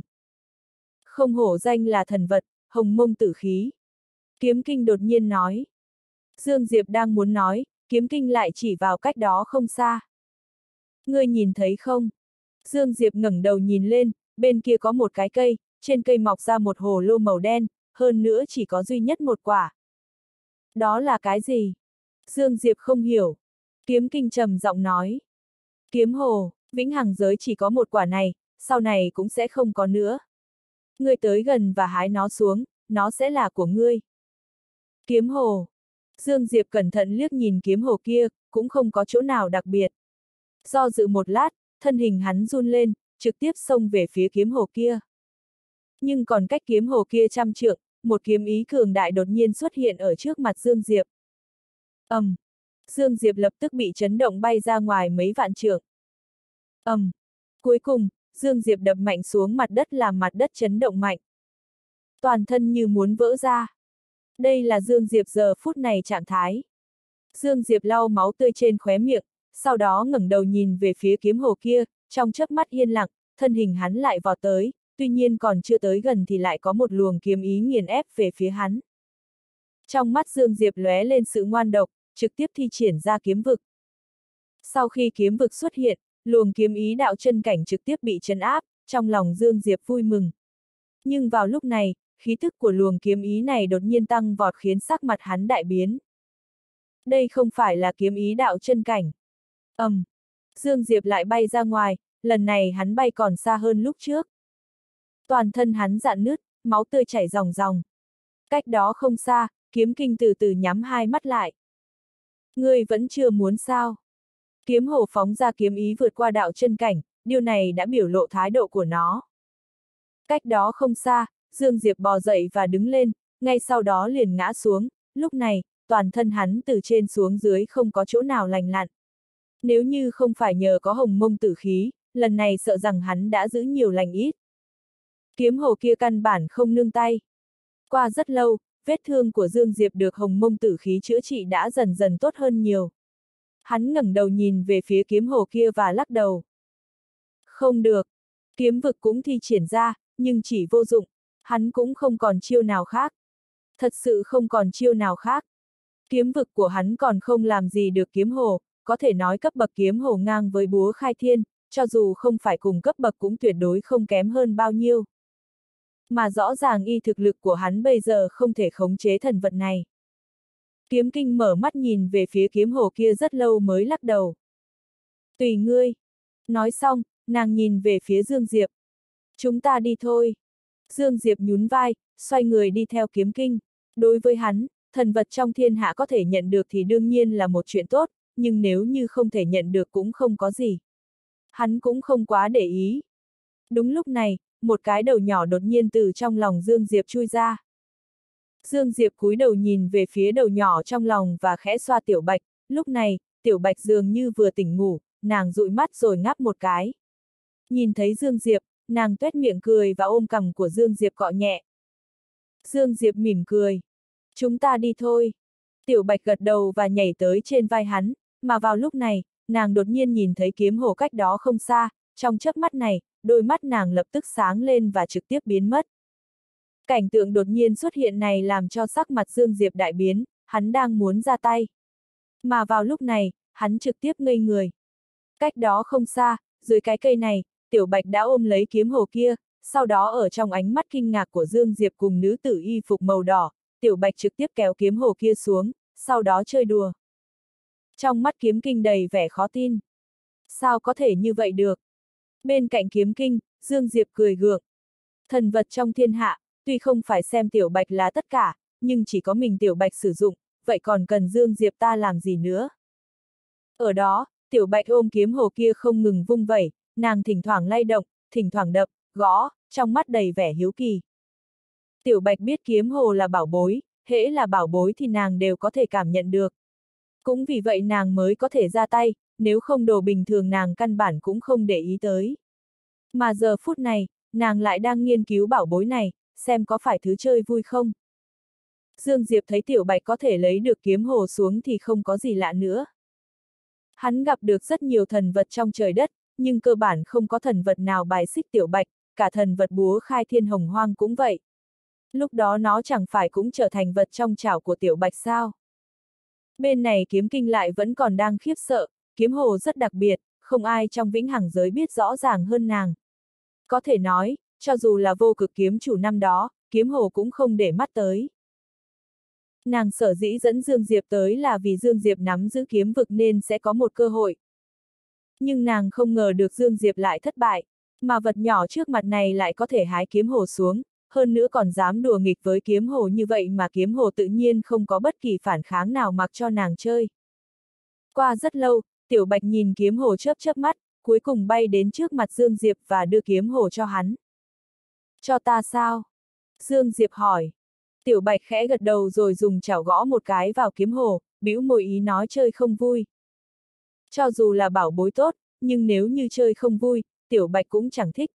Lúc này, kiếm hồ đã bị Tiểu Bạch kéo đến sổ đen, Dương Diệp do dự một lúc, đang muốn cầm kiếm hồ kia lại thấy nó khẽ run lên, một kiếm ý trực tiếp ngăn cản tay của Dương Diệp.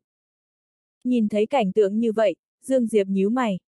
Trước mặt Dương Diệp, Tiểu Bạch chớp chớp mắt, cúi đầu nhìn kiếm hồ, rất nhanh, móng nhỏ của nàng gõ kiếm hồ một cái, dường như cảm thấy không đủ, nàng lại gõ thêm vài cái, còn ôm kiếm hồ lắc mạnh một hồi. Kiếm kinh. Một lát sau, Tiểu Bạch ngẩng đầu nhìn về phía Dương Diệp, sau đó móng nhỏ vung vẩy. Rất nhanh, Dương Diệp hiểu rõ. Hắn rốt cuộc đã biết vì sao kiếm hồ chống lại hắn như vậy. Sát ý. Sở dĩ kiếm hồ căm thù hắn như vậy, nguyên nhân chủ yếu nhất là sát ý, sát ý trên người hắn quá nặng mà kiếm hồ không thích sát ý. Dương Diệp liếc nhìn kiếm hồ kia, hắn do dự một lúc, sau đó thu sát ý vào, lúc này, trên người hắn hoàn toàn không cảm giác được sát ý. Lúc này, Tiểu Bạch đưa kiếm hồ tới trước mặt Dương Diệp, hắn nhận lấy. Kiếm hồ không chống lại nữa. Tuy nhiên, không đợi Dương Diệp nghiên cứu, kiếm hồ kia lại bay trở về trong tay của Tiểu Bạch. Dương Diệp. Tiểu Bạch chớp chớp mắt, sau đó lại đưa kiếm hồ tới trước mặt Dương Diệp, sau đó xoay đầu lại biểu thị, ta không cần. Ta không cần. Vẻ mặt kiếm kinh rất cổ quái. Mặt Dương Diệp cũng tối sầm lại, hắn muốn nhưng kiếm hồ không theo hắn. Vì sao nàng lại không cần? Lúc này, kiếm kinh đột nhiên hỏi. Dương Diệp liếc nhìn kiếm kinh. Nàng cảm thấy chơi không vui.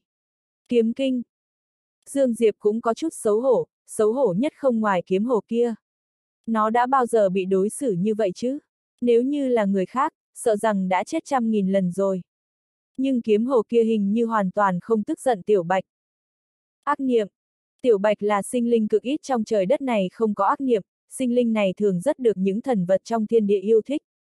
Đây cũng là nguyên nhân trước đây búa khai thiên bằng lòng tiếp cận tiểu bạch, bởi vì nàng không có ác niệm, hơn nữa nàng còn là linh chủ.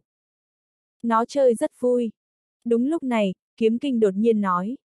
Tới đây, ta dạy cho ngươi cách chơi. Tiểu bạch nhìn về phía kiếm kinh và chớp chớp mắt, sau đó liên tục gật đầu. Kiếm kinh đi tới trước mặt tiểu bạch, sau đó khẽ nói vài câu, tiểu bạch nhìn kiếm kinh chớp chớp mắt, một lát sau, tiểu bạch đột nhiên buông lỏng kiếm hổ ra, hai móng nhỏ chắp lại, trong miệng không biết đang nói thầm cái gì đó. Ba hơi thở sau, tiểu bạch đột nhiên vỗ nhẹ vào kiếm hồ, trong phút chốc, một đường kiếm quang từ trong kiếm hồ kia phóng lên cao. ầm, um, kiếm quang mới vừa xuất hiện, Dương Diệp cùng kiếm kinh lập tức bị chấn động liên tục lui lại. Dương Diệp lui đủ mấy ngàn trượng, kiếm kinh thì nhanh chóng ngừng lại. Dương Diệp liếc nhìn kiếm kinh, sau đó ngẩng đầu nhìn về phía xa, ở đó có một đường kiếm quang không ngừng xoay quanh ở trên đỉnh đầu tiểu bạch, tiếng kiếm ngân xé rách không trung. Tiểu bạch ngẩng đầu nhìn kiếm quang này, đôi mắt nàng chớp chớp và đột nhiên, móng nhỏ vẫy một cái. Ong! Theo một tiếng kiếm ngân vang lên, kiếm quang kia đột nhiên từ phía chân trời chém nghiêng xuống. Suy! Bầu trời ở đó giống như một mảnh vải trực tiếp bị xé rách ra một đường dài đến gần vạn trượng. Một kiếm này, vẻ mặt Dương Diệp rất nghiêm trọng, chỉ có khi hắn thi triển ra kiếm vực mới có khả năng sánh được với uy lực một kiếm bình thường này. Thật mạnh! Dương Diệp nhìn về phía kiếm hồ trong lòng tiểu bạch, vẻ mặt nghiêm trọng. Mà ở phía xa, ánh mắt tiểu bạch lại lập tức sáng lên, móng nhỏ của nàng không ngừng vung vẩy, kiếm quang phía chân trời kia không ngừng chấp hiện khắp nơi, không bao lâu, tất cả không trung xuất hiện từng vết nứt tối tăm thật dài giống như một tấm lưới đen che phủ cả không trung của vùng đất kiếm khư. Bên cạnh Dương Diệp, kiếm kinh khẽ nói. Chấn động sao? Dương Diệp khẽ gật đầu. Kiếm kinh khẽ nói. Nó còn cường đại hơn ngươi thấy vô số lần. Dương Diệp nhìn về phía kiếm kinh, kiếm kinh khẽ nói. Bảo nàng dừng lại đi. Dương Diệp nhìn về phía tiểu bạch và vẫy tay. Tiểu bạch tuét miệng cười, sau đó móng nhỏ gõ kiếm hồ một cái, đường kiếm quang phía chân trời kia lập tức trở lại trong kiếm hồ. Tiểu bạch ôm kiếm hồ đi tới trước mặt Dương Diệp, gương mặt tròn vo đầy vẻ hưng phấn. Dương Diệp khẽ xoa đầu của tiểu bạch. Chúng ta đi thôi. Tiểu bạch gật đầu, sau đó bay đến trên vai của Dương Diệp, mà ở thắt lưng của nàng chính là kiếm hồ kia. Nó tự động treo ở đó. Dương Diệp lắc đầu cười, nhìn về phía kiếm kinh. Đi được chưa? Kiếm kinh liếc nhìn tiểu bạch, sau đó khẽ gật đầu. Hẳn phải đi thôi. Dương Diệp khẽ gật đầu, dưới chân đột nhiên xuất hiện một đường kiếm quang, đúng lúc này, hắn đột nhiên nhìn sang bên phải và nhíu mày. Bên kia có thứ gì đó. Dương Diệp im lặng một lát, chân phải nhẹ nhàng điểm một cái và trực tiếp biến mất ở cuối chân trời. Kiếm kinh liếc nhìn bên phải, nơi đó đã xuất hiện nữ tử váy vải từ lúc nào. Hắn phát hiện ra rồi sao? Nữ tử váy vải đột nhiên hỏi. Kiếm kinh khẽ nói. Chẳng có gì là lạ, dù sao hắn cũng là người nắm giữ kiếm vực, có thể cảm nhận được sự tồn tại của nó là rất bình thường. Nữ tử váy vải im lặng. ngươi còn muốn canh giữ cho thanh kiếm hỏng này bao lâu nữa? Kiếm kinh hỏi. Nữ tử váy vải cúi đầu. Kiếm ra ta nợ nó. Kiếm kinh khẽ thở dài, sau đó xoay người biến mất ở cuối chân trời. Nữ tử váy vải lấy kiếm lớn phía sau lưng xuống, sau đó cắm ở bên cạnh, nàng ngồi xếp bằng dưới đất, từ từ nhắm hai mắt lại, trong giây lát, rất nhiều kiếm ý ở cả vùng đất kiếm khư vào tới chỗ nàng. Những kiếm ý cuối cùng đều tiến vào trong cơ thể nàng, nhưng không bao lâu sau, chúng lại từ trong cơ thể nàng tràn ra, sau đó tản ra các ngõ ngách của vùng đất kiếm khư. Cứ như vậy vòng đi vòng lại, vô hạn tuần hoàn. Nếu như Dương Diệp ở đây, hắn sẽ kinh hãi phát hiện ra sau khi những kiếm ý này từ trong cơ thể nàng lao ra đã thay đổi. Chúng trở nên càng cường đại hơn. Trong đám mây, Dương Diệp nhìn về phía kiếm kinh bên cạnh. Người kia là ai vậy? Dĩ nhiên là hắn đang hỏi về nữ tử váy vải này. Kiếm kinh nói. Người trông giữ kiếm thời này. Trông giữ kiếm sao? Dương Diệp hỏi. Kiếm kinh không trả lời. Dương Diệp nói sang chuyện khác. Nàng thật mạnh. Kiếm kinh khẽ nói. Thân kiếm hỗn độn, kiếm tu trời sinh, người nói có mạnh không? Thân kiếm hỗn độn. Dương Diệp ngây người. Thể chất đặc biệt à? Kiếm kinh khẽ gật đầu. Vậy ta là thể chất gì vậy? Dương Diệp nghiêm túc nói. Ta cảm thấy mình chắc chắn nắm giữ thể chất đặc biệt nào đó. Kiếm kinh liếc nhìn Dương Diệp, sau đó nói. Thân thể vô sỉ. Trên gương mặt Dương Diệp đầy vạch đen. Lúc này, Tiểu Bạch đột nhiên chỉ vào mình, rõ ràng cũng đang hỏi nàng là thân thể gì.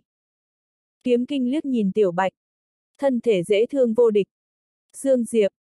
Tiểu Bạch chớp chớp mắt, sau đó nhìn về phía Dương Diệp, móng nhỏ vung vẩy như đang hỏi như vậy có lợi hại không? Dương Diệp khẽ gật đầu, nghiêm túc nói. Lợi hại, đặc biệt lợi hại, không thể chất nào lợi hại hơn ngươi. Nghe vậy, ánh mắt Tiểu Bạch lập tức sáng lên, trên gương mặt đầy tinh thần. Rất nhanh, Dương Diệp đã rời khỏi phạm vi của vùng đất kiếm khư. Bọn họ lao về phía thủy nguyên tộc. Qua một canh giờ sau, Dương Diệp đột nhiên ngừng lại. Ở phía trước cách hắn không xa, một nam tử trung niên mặc áo bào trắng đang đứng ở trên một đám mây trắng. Trong tay nam tử trung niên cầm một chiếc quạt lông, đầu đội khăn, bộ dạng thư sinh. Nam tử trung niên liếc nhìn Dương Diệp, sau đó nhìn kiếm kinh bên cạnh. Bây giờ các hạ không nên dính vào. Kiếm kinh khẽ nói. Đã dính vào rồi. Nam tử trung niên hơi trầm ngâm, sau đó hắn nhìn về phía Dương Diệp. Tại hạ là Hàn Uyên Thư của Hàn Uyên tộc, tiểu hữu có tài năng hơn người, nếu có thể hiểu tiến lui, 20 năm sau sợ rằng trong vĩnh hằng giới sẽ không có mấy người có thể giết được tiểu hữu. Vấn đề là ta không thể sống quá 20 năm, phải không? Dương Diệp cười nói. Hàn Uyên Thư nhìn thẳng vào Dương Diệp. Nếu như tiểu hữu giao ra ba món thần vật này, ta không dám cam đoan về chuyện khác, nhưng Hàn Uyên gia ta sẽ lập tức rời đi, vĩnh viễn không gây phiền phức cho tiểu hữu nữa. Nếu như tiểu hữu không muốn, thứ lỗi cho ta nói thẳng, hôm nay sợ rằng tiểu hữu không rời khỏi nơi đây được. Dương Diệp khẽ cười, sau đó nói. Thứ lỗi cho ta nói thẳng, ta coi trọng lão bà của các hạ, các hạ có thể đưa nàng cho ta không? Chỉ cần các hạ đưa nàng cho ta, ta lập tức rời đi, tuyệt đối sẽ không gây phiền phức cho Hàn Uyên ra. Nghe vậy, vẻ mặt Hàn Uyên Thư lập tức trầm xuống. Xem ra các hạ u mê không chịu tỉnh ngộ, nếu như vậy. Đúng lúc này, Dương Diệp đột nhiên xuất hiện ở trước mặt Hàn Uyên Thư này, thoáng cái, hắn rút kiếm chém ra một phát. Àm! Um, một kiếm hạ xuống, Hàn Uyên Thư lập tức bị chấn động đến ngoài mấy ngàn trượng. Dương Diệp lạnh lùng nhìn Hàn Uyên Thư. Ta có thể cảm giác được vùng đất kiếm khư này có một bảo bối vô cùng tốt, vì sao các ngươi không đi cướp đi? Còn nữa, sông Vĩnh Hằng bên kia có khí Vĩnh Hằng, vì sao các ngươi không đi cướp? Tiên phủ thế lực lớn đứng đầu trong Vĩnh Hằng giới hẳn cũng có không ít bảo bối, vì sao các ngươi không đi cướp? Nói cho cùng, các ngươi là thấy lão tử thực lực yếu, thấy lão tử lẻ loi một mình dễ bắt nạt. Ta nói cho các ngươi biết, Dương Diệp ta đúng là lẻ loi một mình, thực lực của ta thật sự yếu, nhưng lão tử không sợ chết, các ngươi muốn chiến thì lão tử theo hầu tới cùng. Muốn chiến lại chiến, đây là thái độ của Dương Diệp. Dương Diệp hắn quả thật có thể thỏa hiệp, có thể lui bước, có thể sợ hãi trong chốc lát, nếu như hắn làm như vậy, hắn có thể giảm rất nhiều phiền phức. Nhưng sống sót như vậy sẽ uất nghẹn tới mức nào? Người ta coi trọng đồ của ngươi, ngươi lại giao ra, nếu như người ta coi trọng lão bà của ngươi, có phải ngươi cũng sẽ giao lão bà ra không? Người sống trên đời, vì sao phải sống bất bình như vậy? Không quan tâm người khác thế nào, dù sao Dương Diệp hắn tình nguyện tiêu sái mà chết đi, chứ không muốn sống kìm nén. Đối diện Dương Diệp, vẻ mặt Hàn Uyên Thư rất thâm trầm, hắn nhìn chằm chằm Dương Diệp. Loại người như ngươi có thể sống đến bây giờ thì không thể không nói là một kỳ tích, tuy nhiên đáng tiếc ngươi sẽ không được may mắn giống như trước. Ngươi! Đúng lúc này, Dương Diệp đột nhiên biến mất. Hàn Uyên Thư chợt biến sắc, quạt giấy trong tay hắn đột nhiên được mở ra, trong phút chốc, một cột ánh sáng từ trong quạt giấy này phóng lên cao. Bên trong cột ánh sáng là một con rồng lớn dữ tợn. Trên đỉnh đầu Hàn Uyên Thư, vẻ mặt Dương Diệp có phần ngoan độc, trong phút chốc đã trở nên mờ ảo. Kiếm vực. Một kiếm hạ xuống. Suy. Con rồng lớn dữ tợn lập tức bị chém thành hư vô, mà Hàn Uyên Thư trực tiếp bị chấn động đến ngoài mấy vạn trượng, hắn vừa dừng lại, trong miệng liền phun ra một ngụm máu tươi. Hàn Uyên Thư lau máu tươi trên khóe miệng và ngẩng đầu nhìn về phía Dương Diệp, chỉ thấy trong phút chốc, ở trong đôi mắt hắn có một luồng kiếm quang càng lúc càng lớn. Hàn Uyên Thư thầm khiếp sợ, quạt giấy trong tay nhẹ nhàng vung vẩy. ầm, um, một con thần phượng hư ảo đột nhiên từ trong quạt giấy phóng lên cao, thần phượng đón gió tăng vọt, nháy mắt liền đạt tới gần nghìn trượng. Che khuất bầu trời. Lúc này, kiếm tới. ầm, um, một tiếng nổ lớn đinh tai nhức óc đột nhiên vang lên. Đồng tử Hàn Uyên thư đột nhiên co lại, bởi vì kiếm của Dương Diệp trực tiếp chém nát con thần phượng hư ảo kia, tuy nhiên Dương Diệp cũng bị chấn động đến ngoài mấy ngàn trượng. Nhưng Dương Diệp vừa dừng lại, hắn liền trực tiếp hóa thành một đường kiếm quang biến mất. Kiếm quang giống như sợi tóc, nhỏ tới mức không thể nhận ra. Đó là do tốc độ của nó nhanh đến mức tận cùng. Hàn Uyên Thư nheo mắt lại, huyền khí trong cơ thể điên cuồng vận chuyển, thoáng cái, hắn nắm trong tay quạt giấy chợt bổ tới trước mặt Dương Diệp. Suy! Trong phút chốc, hai con thần thú dữ tợn đột nhiên từ trong chiếc quạt nhanh chóng hiện ra, theo thứ tự là rồng lớn và thần phượng, trong nháy mắt hình thể hai con thần thú hư ảo liền lớn lên gấp mấy lần, trong đó, con rồng lớn này mở miệng trực tiếp nuốt kiếm quang kia của Dương Diệp, nhưng kiếm quang kia lại trực tiếp xé rách bụng của con rồng lớn và bắn ra nhanh như điện chớp. Tuy nhiên đúng lúc này, thần phượng đột nhiên đánh vào trên đường kiếm quang này. ầm, um, kiếm quang tản đi. Một bóng người bị chấn động bay đến ngoài mấy ngàn trượng. Bóng đen này chính là Dương Diệp. Ngoài mấy ngàn trượng, Dương Diệp nhìn trước ngực mình, da ở đó đã bị cháy đen. Đó là do thần phượng kia đốt cháy. Dương Diệp liếc nhìn quạt giấy trong tay Hàn Uyên Thư. Đồ chơi này không tệ. Vừa dứt lời, hắn đang muốn ra tay, mà vào lúc này, một bàn tay tối tăm đột nhiên từ không gian phía sau Dương Diệp thò ra, trong chớp mắt khi nó sắp đánh vào sau lưng của hắn, hắn mới nhận ra. Nhưng đã muộn rồi. Tuy nhiên đúng lúc này, một đường kiếm quang đột nhiên chém ở trên bàn tay kia. Suy!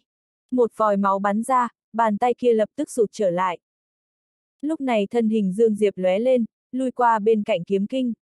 Người ra tay chính là kiếm kinh. Dương Diệp lau máu tươi trên khóe miệng. Ta còn tưởng rằng ngươi không ra tay. Kiếm kinh khẽ nói.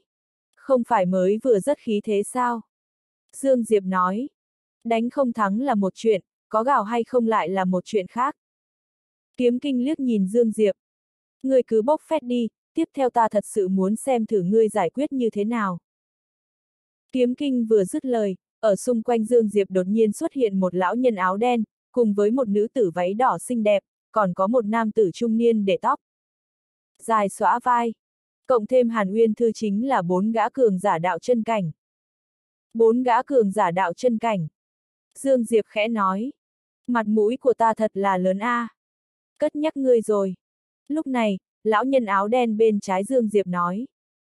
Nếu không phải vì ba món thần vật này, lão phu nhìn cũng lười liếc nhìn con kiến hội như ngươi. Con kiến hôi. Dương Diệp xoay người nhìn về phía lão nhân áo đen, cười hì hì. Lão bất tử, một đấu một chứ. Một đấu một. Lão già áo đen châm chọc nói. Ngươi xứng sao? Đúng lúc này, tay phải của Dương Diệp mở ra, một tòa tháp nhỏ màu vàng xuất hiện ở trong bàn tay hắn. Nhìn thấy tháp nhỏ màu vàng này, sắc mặt tất cả mọi người ở đó đều thay đổi. Hồng mông tháp. Lúc này, Dương Diệp đột nhiên nói. Lão bất tử, một đấu một, nếu như ngươi có thể thắng ta, tháp này lại cho ngươi, đúng rồi, cây bồ đề cùng búa khai thiên đều ở bên trong, ngươi có muốn không? Lão nhân áo đen nheo mắt lại. Xem ra ngươi rất tự tin, muốn giết ta trước. Dương Diệp cười nói. Không sao, nếu như ngươi không muốn một đấu một, vậy các ngươi lại cùng tiến lên, còn không phải là bốn vị cường giả đạo chân cảnh sao? Ta thật sự không sợ. Đường đường là trưởng lão Việt tộc lại sợ rồi sao?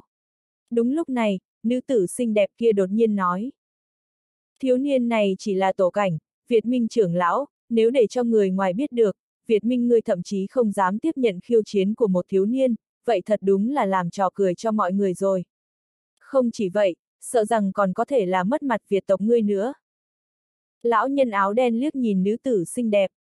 Lạc ly tiên, đừng tưởng rằng lão phu không biết ngươi có ý gì. Nữ tử xinh đẹp cười duyên nói. Ta là một nữ tử yếu đuối có thể có ý gì chứ? Ngươi đừng lãng phí thời gian nữa, nếu như ngươi không muốn tiếp nhận khiêu chiến của thiếu niên này, chúng ta lại ra tay cùng giết hắn, sau đó tới thảo luận xem ba món thần vật này thuộc về ai. Lão nhân áo đen khẽ nói. Vậy ra tay một lượt đi. Hắn tất nhiên không ngốc, hắn một đấu một cùng Dương Diệp, hắn không sợ, nhưng cuối cùng sẽ có lợi cho ai? Là mấy người xung quanh hắn thôi. Bởi vậy tuy hắn rất muốn bóp chết Dương Diệp, nhưng vẫn không có nhận lời. Mặt mũi à? Thứ này đáng giá sao? Chỉ cần Dương Diệp vừa chết, ai còn quan tâm tới chuyện mặt mũi hay không chứ? Không tới một ngày, người đời sẽ quên Dương Diệp này. Nữ tử xinh đẹp liếc nhìn lão nhân áo đen, cười nói. Cũng được. Nói xong, nàng nhìn về phía Dương Diệp. Tiểu huynh đệ, tỷ tỷ thấy ngươi không phải người tầm thường, nếu ngươi bằng lòng giao ra ba món thần vật này, tỷ tỷ bảo vệ cho ngươi bình an được không? Dương Diệp nhìn nữ tử xinh đẹp khẽ nói. Ta còn thiếu một người làm ấm giường, nếu như tỷ tỷ bằng lòng làm ấm giường cho ta, làm chút phục vụ đặc biệt cho ta, ta cũng có thể bảo vệ cho tỷ tỷ bình an, thế nào? Phục vụ đặc biệt. Nữ tử xinh đẹp nở nụ cười, ánh mắt nàng nhìn xuống dưới bụng của Dương Diệp. Tiểu huynh đệ, tỷ tỷ sợ ngươi ăn không tiêu, khanh khách. Dương Diệp khẽ nói. Ta lại sợ tỷ tỷ ăn không tiêu. Nữ tử xinh đẹp đi tới trước mặt Dương Diệp và nhìn thẳng vào hắn, nụ cười trên mặt đã dần dần biến mất. Ta biết ngươi đang trì hoãn thời gian, ngươi chắc đang lợi dụng hồng mông tử khí chữa thương, làm cho mình đạt được trạng thái đỉnh phong. Tuy nhiên ta có thể nói cho ngươi biết, ở đây có bốn gã đạo chân cảnh, bốn người chúng ta liên thủ mà muốn giết ngươi thì thật sự dễ như trở bàn tay. Đừng múa mép khua môi cùng ta, ta hỏi một lần cuối cùng, ngươi có giao ra không? Theo nữ tử xinh đẹp vừa dứt lời, ở đó có bốn khí thức cường đại bao phủ ở trên người của Dương Diệp. Sắc mặt kiếm kinh không hề thay đổi, không biết đang suy nghĩ gì. Đột nhiên hắn chợt ngẩng đầu lên, tuét miệng cười. Cách ta gần như vậy, không sợ chết à? Vừa dứt lời. ầm ầm, Hai luồng ý cảnh khủng khiếp từ trong cơ thể Dương Diệp cuốn ra ngoài, cùng lúc đó, một thanh kiếm trực tiếp chém xuống đỉnh đầu của nữ tử xinh đẹp kia. Kiếm vực thêm hai loại đỉnh phong ý cảnh. Một kiếm hạ xuống. Vẻ mặt của nữ tử xinh đẹp lập tức biến đổi, tuy nhiên nàng sớm đã có đề phòng, ở trên thân nàng đột nhiên xuất hiện từng bông hoa máu giống như do máu ngưng tụ thành, đẹp lại tanh mùi máu. Mà khi kiếm của Dương Diệp hạ xuống, những bông hoa máu kia đột nhiên hóa thành từng ánh sáng máu nổ tung ra. Àm! Um, một kiếm chém xuống, nữ tử xinh đẹp kia lập tức bị chấn động bay đến bên ngoài vạn trượng, trước mặt Dương Diệp là những cánh hoa rơi đầy đất. Phụt! Nữ tử xinh đẹp vừa dừng lại, trong miệng liền liên tục phun ra mấy ngụm máu, mà vào lúc này, một đường kiếm quang đột nhiên xuất hiện ở đỉnh đầu nàng. Lại là một kiếm. Kiếm vực. Một kiếm này hạ xuống, đồng tử của nữ tử xinh đẹp kia đột nhiên co lại, lòng bàn tay của nàng hơi xoay tròn, trong phút chốc, một bông hoa giống như máu kết tinh đột nhiên phóng ra, ngay sau đó, rất nhiều ánh sáng màu đỏ theo cơ thể nàng phóng lên cao. Âm âm âm, trong nháy mắt, không gian chỗ Dương Diệp cùng nữ tử xinh đẹp lập tức nổ tung chôn vùi, trở thành một nơi tĩnh mịch ầm, um, lại là một tiếng nổ lớn đột nhiên vang lên, ở trong ánh mắt của mọi người xung quanh, nữ tử xinh đẹp kia trực tiếp bị chấn động bay ra ngoài. Cách mấy ngàn trượng, nữ tử xinh đẹp vừa dừng lại thì trong miệng lại phun ra một ngụm máu tươi, mà vào lúc này, Dương Diệp đột nhiên biến mất. Nữ tử xinh đẹp ngẩng đầu nhìn lướt qua xung quanh. Nếu các ngươi còn không ra tay, Lạc Ly ra ta sẽ rời khỏi đây. Theo nữ tử xinh đẹp vừa dứt lời, Hàn Uyên Thư cùng với lão già áo đen và nam tử trung niên tóc dài đã trực tiếp biến mất. Trước mặt nữ tử xinh đẹp, Dương Diệp nhíu mày, cầm kiếm quét ngang xung quanh. ầm, um, Dương Diệp trực tiếp bay ngược ra ngoài mấy vạn trượng. Bốn gã đạo chân cảnh liên thủ. Bên ngoài mấy vạn trượng, Dương Diệp lau máu tươi trên khóe miệng, trong mắt đầy vẻ dữ tợn. Tới đi, tiếp tục tới đi. Bốn người kia không nói một lời, trực tiếp lao về phía vị trí của Dương Diệp. Trong mắt Dương Diệp đỏ như máu, rất nhiều kiếm ý sát ý điên cuồng từ trong cơ thể cuốn ra ngoài, nhưng ở khí thế của bốn gã cường giả đạo chân cảnh, sát ý cùng kiếm ý của hắn trực tiếp bị nghiền ép. Hoàn toàn bị nghiền ép. Rất nhanh, bốn người đã tới trước mặt Dương Diệp. ầm, um, Dương Diệp lập tức bay ngược ra ngoài. Hắn đã hoàn toàn bị áp chế. Bốn người kia không hề dừng tay mà lại xông về phía Dương Diệp.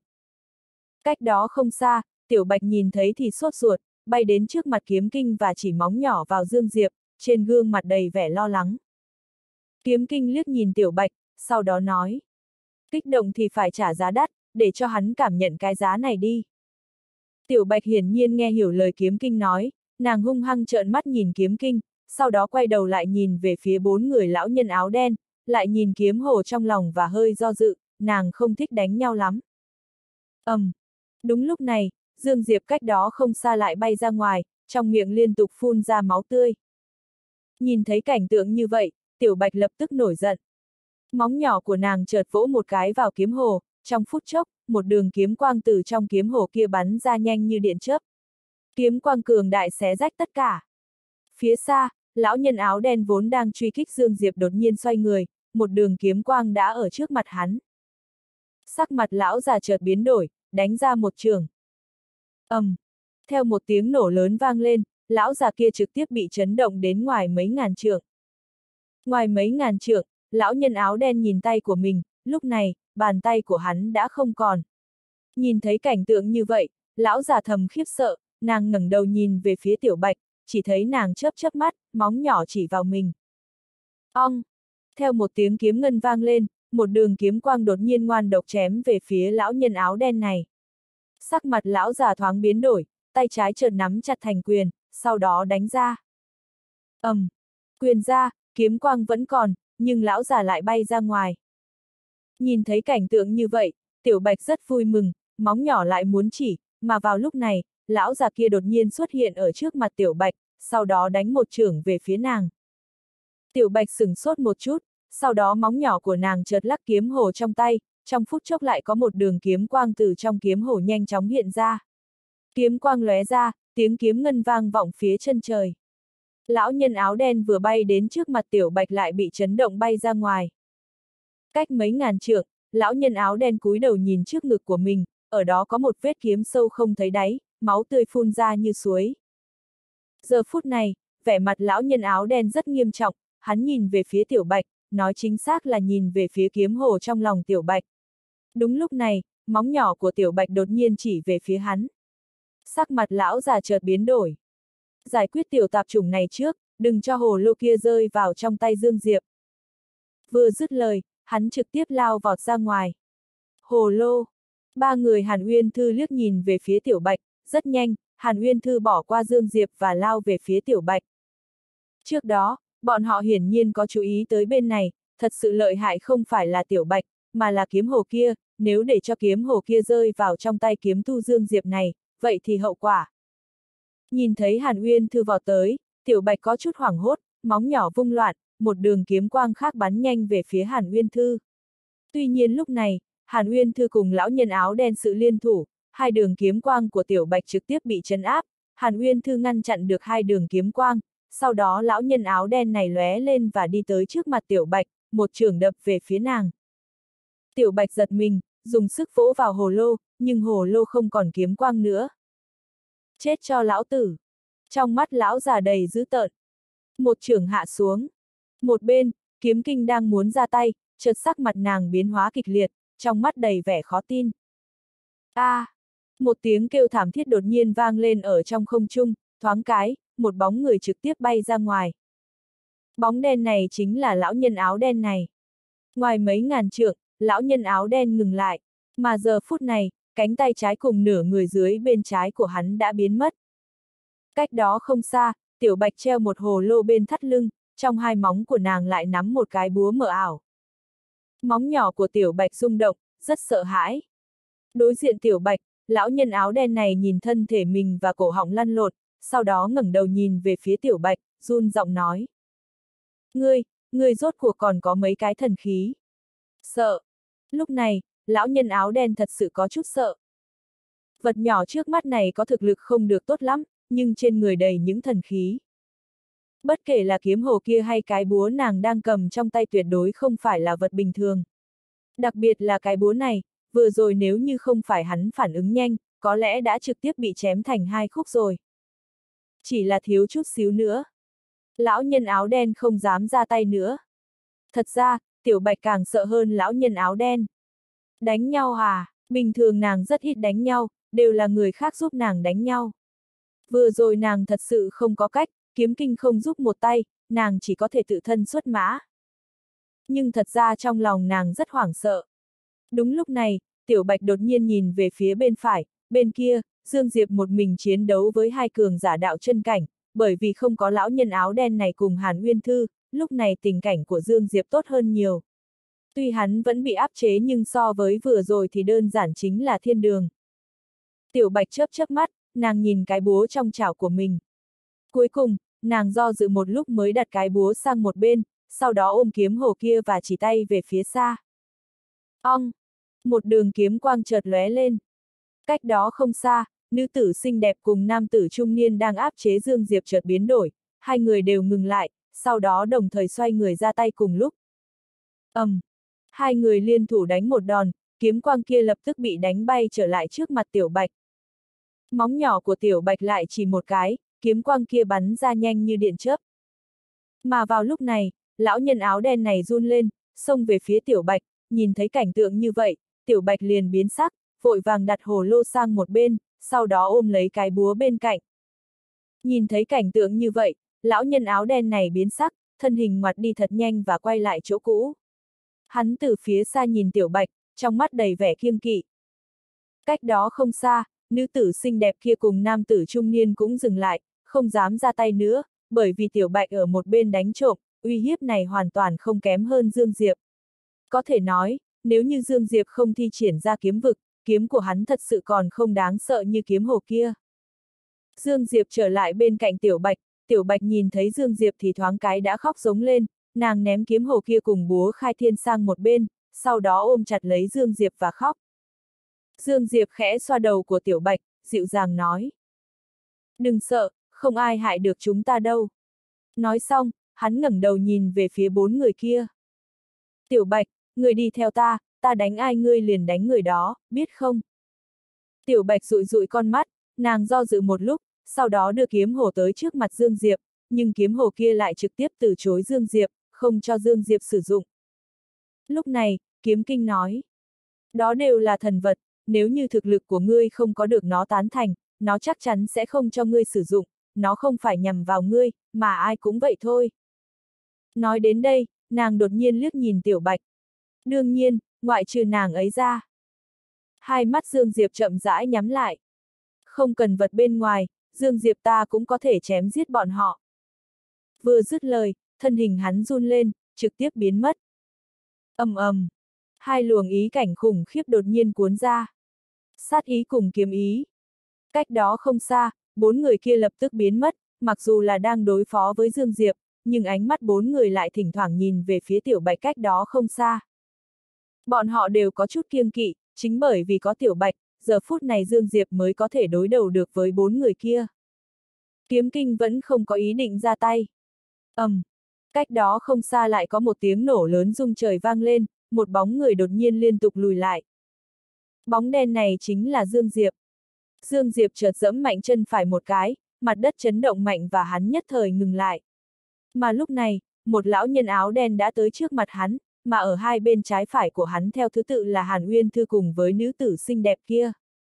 Một nam tử trung niên khác lại đang dây dưa với Tiểu Bạch.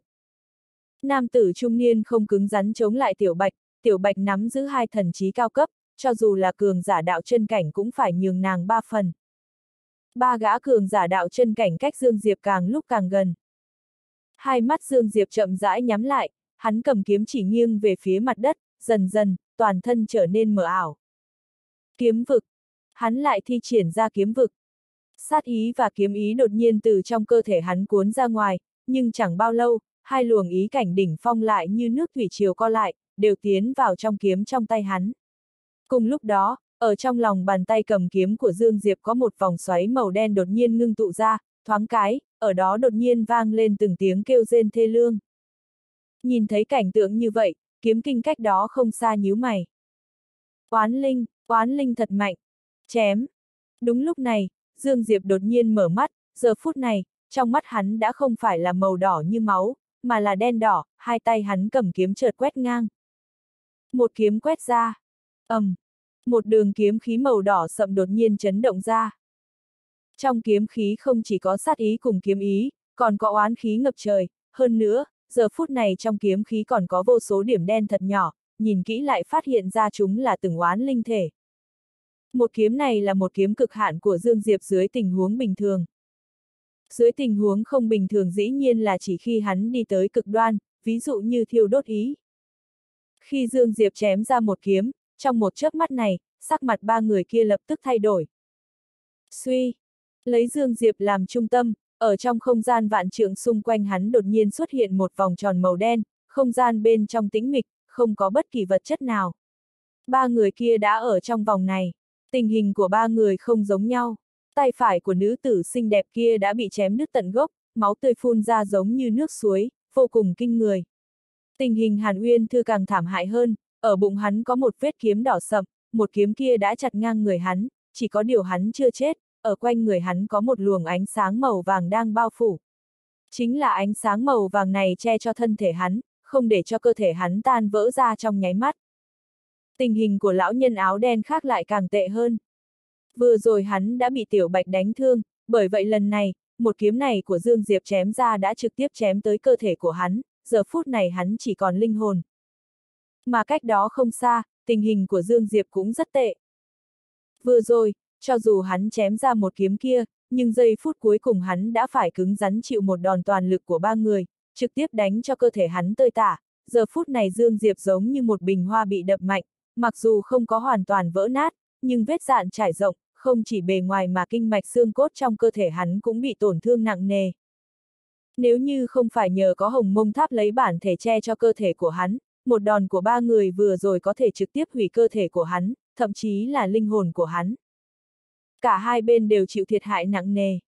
Trong giây lát, ở đó trở nên rất yên tĩnh. Hoàn toàn yên tĩnh. Cách đó không xa, trong mắt ba người kia đầy vẻ khó tin, ba người bọn họ đều là cường giả đạo chân cảnh, ba người liên thủ lại đổi lấy một kết quả như vậy. Có thể nói bọn họ đã thua. Cho dù vừa rồi Dương Diệp bị bọn họ giết chết, bọn họ cũng thua. Nói gì Dương Diệp vẫn sống tốt. Đúng lúc này, kiếm kinh cách đó không xa đột nhiên biến mất.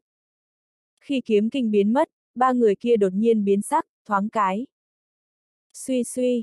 Theo hai đường kiếm quang hiện lên, đầu của lão nhân áo đen này cùng với Hàn Uyên Thư trực tiếp bay ra ngoài, hai người trực tiếp bị kiếm kinh chém giết trong nháy mắt, ngay cả linh hồn cũng không tránh được.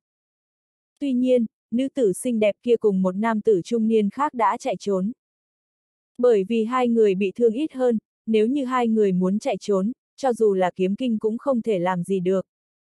Kiếm kinh đi tới trước mặt Dương Diệp, Dương Diệp liếc nhìn kiếm kinh và muốn nói chuyện, lại nói không nên lời. Kiếm kinh khẽ nói. Người đi ra bán, ta thu gặt, có vấn đề sao? Gương mặt Dương Diệp co giật một hồi, nếu như ánh mắt có thể giết người, kiếm kinh trước mắt này sớm đã chết rồi. Lúc này, Tiểu Bạch rơi xuống trước mặt Dương Diệp, nhìn thấy dáng vẻ của Dương Diệp, Tiểu Bạch lại khóc, thoáng cái, Dương Diệp liền bị linh khí nhấn chìm. Kiếm kinh liếc nhìn Tiểu Bạch với vẻ mặt có chút khác thường. Nàng tất nhiên cũng từng nhìn thấy linh chủ, tuy nhiên, nàng chưa từng thấy qua linh chủ tín nhiệm loài người như thế. Dương Diệp có chút bất đắc dĩ, hắn muốn ôm Tiểu Bạch, nhưng lúc này, toàn thân hắn không thể động. Hắn sợ và động thì toàn thân lại vỡ nát. Bây giờ cơ thể hắn thật sự rất tệ.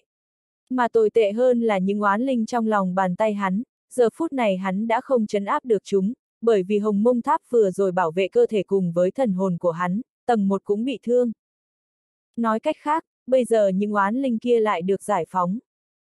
Giết! Vô số âm thanh không ngừng vang lên ở trong đầu hắn.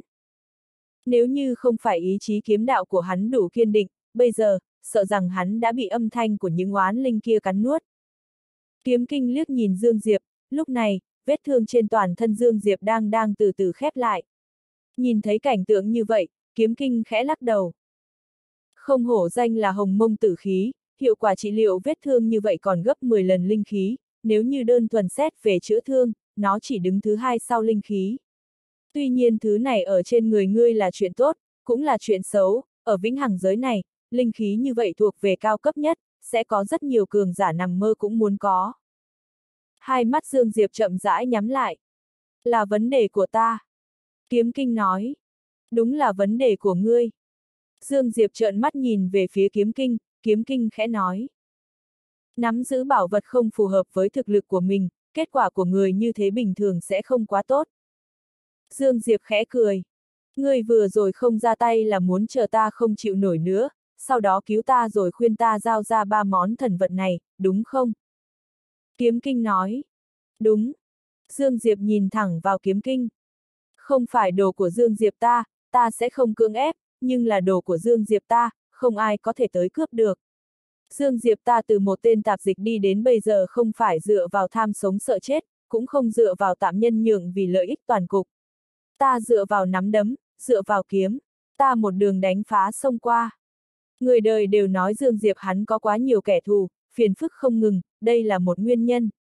Bởi vì hắn không thỏa hiệp, không tạm nhân nhượng vì lợi ích toàn cục, trên đường đi tới, thái độ sống của hắn chính là, không để ý tới sống chết, không phục thì tới đánh đi.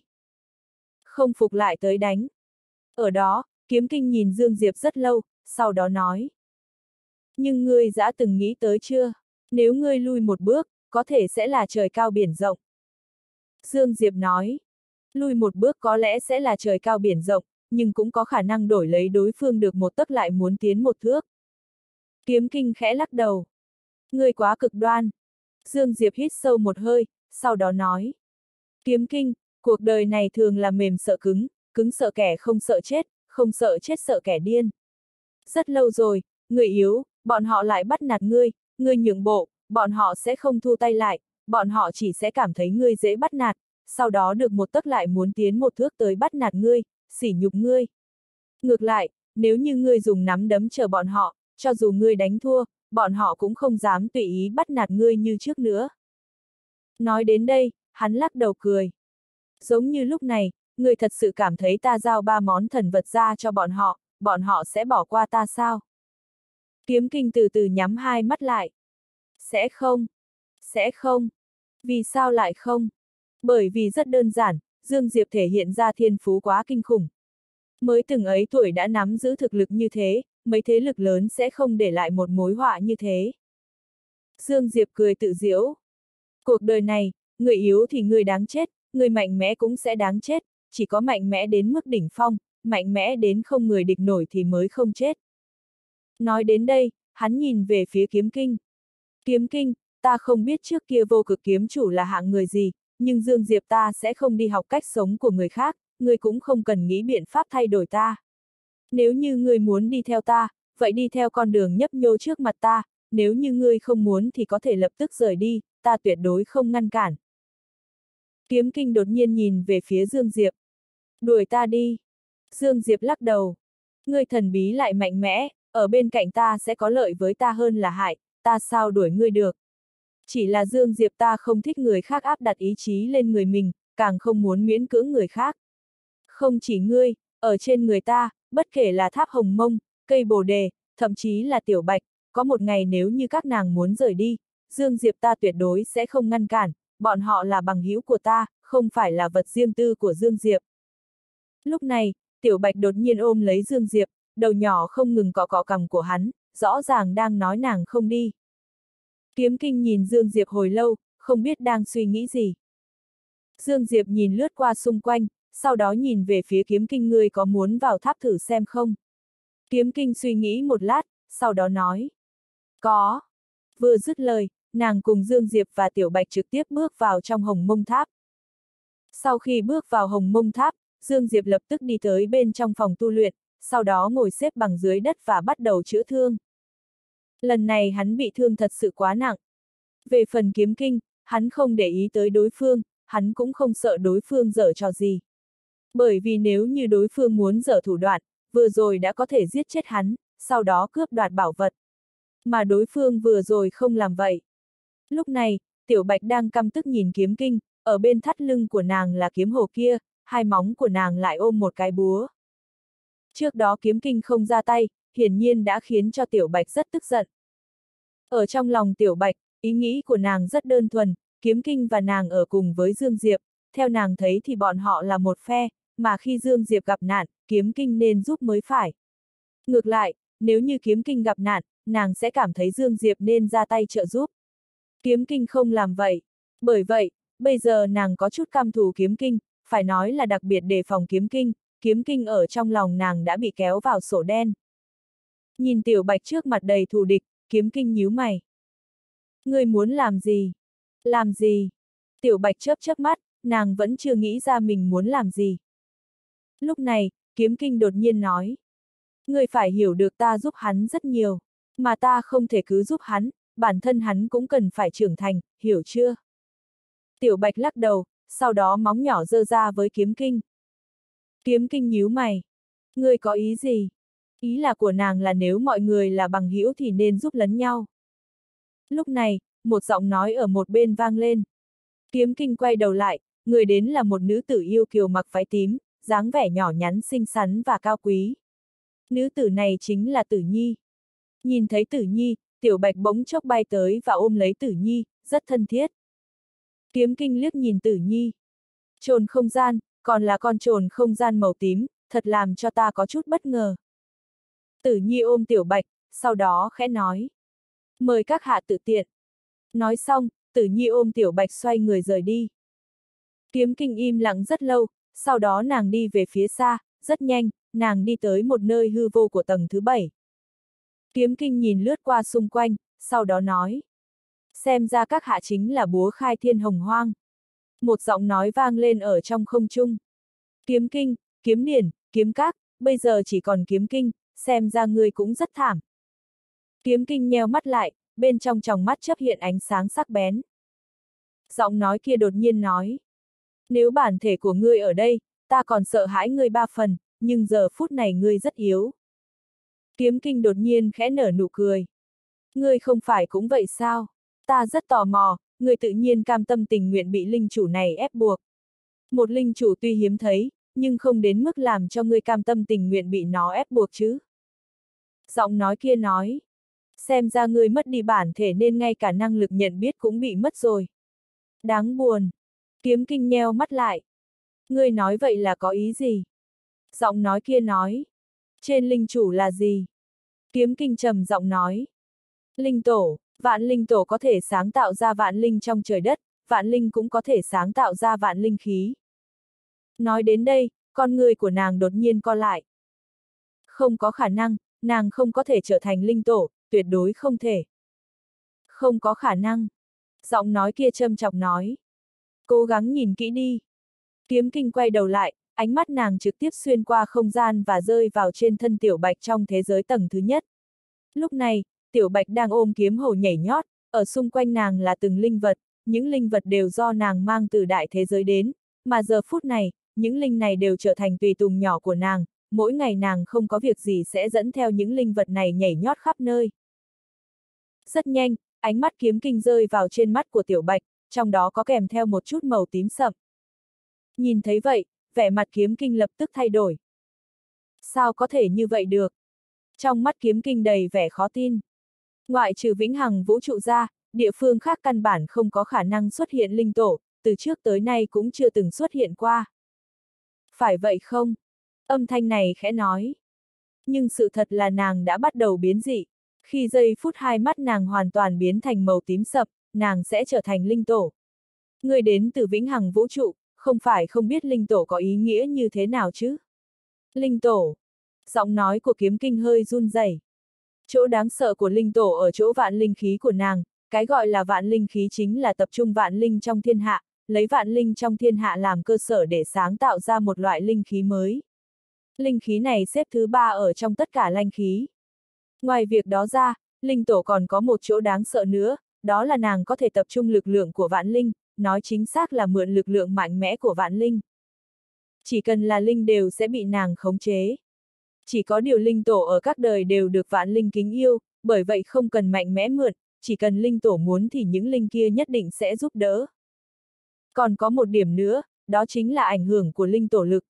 Linh tổ bình thường không dính vào phân tranh của thế gian, ở vĩnh hằng vũ trụ có địa vị đặc biệt vô cùng, cho dù là một ít cường giả bá chủ siêu cấp cũng sẽ phải nể mặt linh tổ, bởi vì vạn linh khí có giúp đỡ vô cùng lớn cho những cường giả này, đặc biệt là thần vật như búa khai thiên này. Top 10 linh khí đều có chỗ đặc biệt riêng của mình. Mà vạn linh khí có một điểm đặc biệt nhất, chính là có thể mạnh mẽ nâng cao linh của thần vật, cũng có thể chữa trị linh của bất kỳ thần vật nào.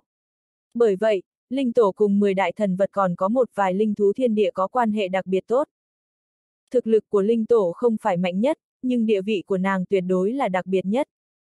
Lúc này, giọng nói của búa khai thiên vang lên lần nữa.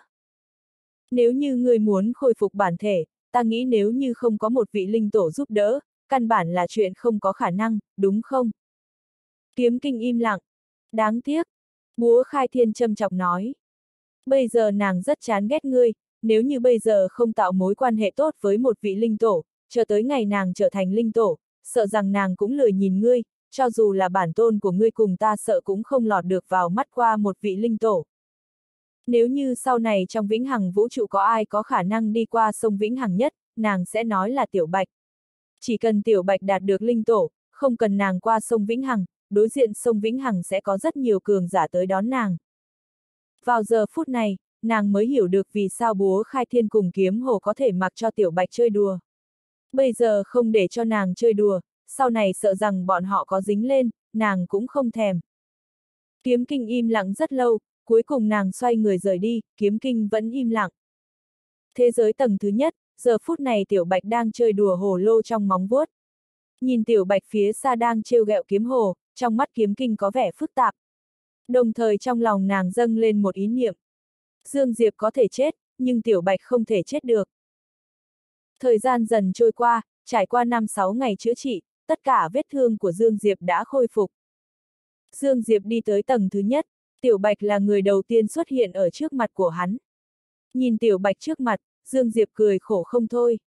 Bên thắt lưng Tiểu Bạch là kiếm hồ, trong móng vuốt là búa khai thiên, mà ở bên cạnh nàng còn có kiếm thủ lơ lửng. Có thể nói Tiểu Bạch đã được vũ trang đến tận răng. Có mấy món trang bị thần vật này, cho dù là một vị cường giả đạo chân cảnh cũng đừng mong tới gần Tiểu Bạch. Dương Diệp khẽ xoa đầu của Tiểu Bạch, sau đó cười nói. Chúng ta đi thôi. Nói xong, hắn dẫn theo Tiểu Bạch rời khỏi hồng mông tháp.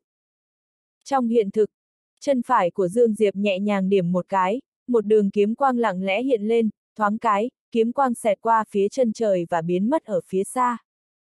Thủy Nguyên Địa Thủy Nguyên Địa chính là nơi ở của Thủy Nguyên tộc. Thủy Nguyên Địa là do Thủy Nguyên đế trước kia một tay đánh xuống, đồng thời còn làm cho vĩnh hằng giới thừa nhận địa vị của thủy nguyên tộc. Trước một dãy núi có một đường kiếm quang rơi xuống đất. Kiếm quang tản đi, người tới chính là Dương Diệp. Dương Diệp ngẩng đầu nhìn lướt qua dãy núi này, chính là thủy nguyên địa. Dương Diệp đang muốn đi tới, đúng lúc này hắn đột nhiên quay đầu nhìn lại, nơi đó có một nữ tử váy trắng đang ôm một chiếc cầm dài chậm rãi đi về phía hắn. Nữ tử tóc dài tới thắt lưng và đeo khăn che mặt nên không nhìn thấy rõ. Nữ tử đi tới trước mặt Dương Diệp và khẽ nói. Dương công tử, chủ thượng nhà ta cho mời. Hai mắt Dương Diệp chậm rãi nhắm lại. Chờ sau khi ta ra ngoài được chứ?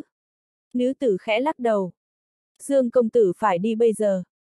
Dương Diệp ngẩng đầu nhìn về phía thủy nguyên địa. Nơi đó có người đang đợi ta. Vậy thì mời Dương công tử để lại ba món thần vật này. Nữ tử đột nhiên nói. Dương Diệp quay đầu lại nhìn về phía nữ tử váy trắng, nàng khẽ nói.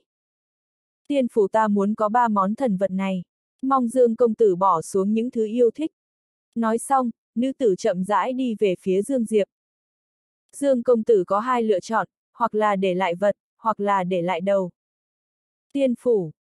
Tiên phủ. Hai mắt Dương Diệp chậm rãi nhắm lại. Hai thành, ba tông, sáu tộc đều đã từng ra tay với hắn. Bây giờ, tiên phủ cũng tới. Thật ra điều này cũng nằm trong dự đoán của hắn. Làm thế lực lớn đứng đầu của vĩnh hằng giới, tiên phủ sao có thể bỏ qua cục thịt béo là hắn được. Ba món thần vật. Cho dù là tiên phủ cũng khó có thể không động tâm. Dương Diệp quay đầu lại nhìn lướt qua xung quanh, chỉ thấy ở đó còn có một vài người với khí tức cũng không tệ, Dương Diệp khẽ cười. Xem ra không chỉ có một mình tiên phủ mơ ước ba món thần vật này. Nữ tử váy trắng khẽ nói.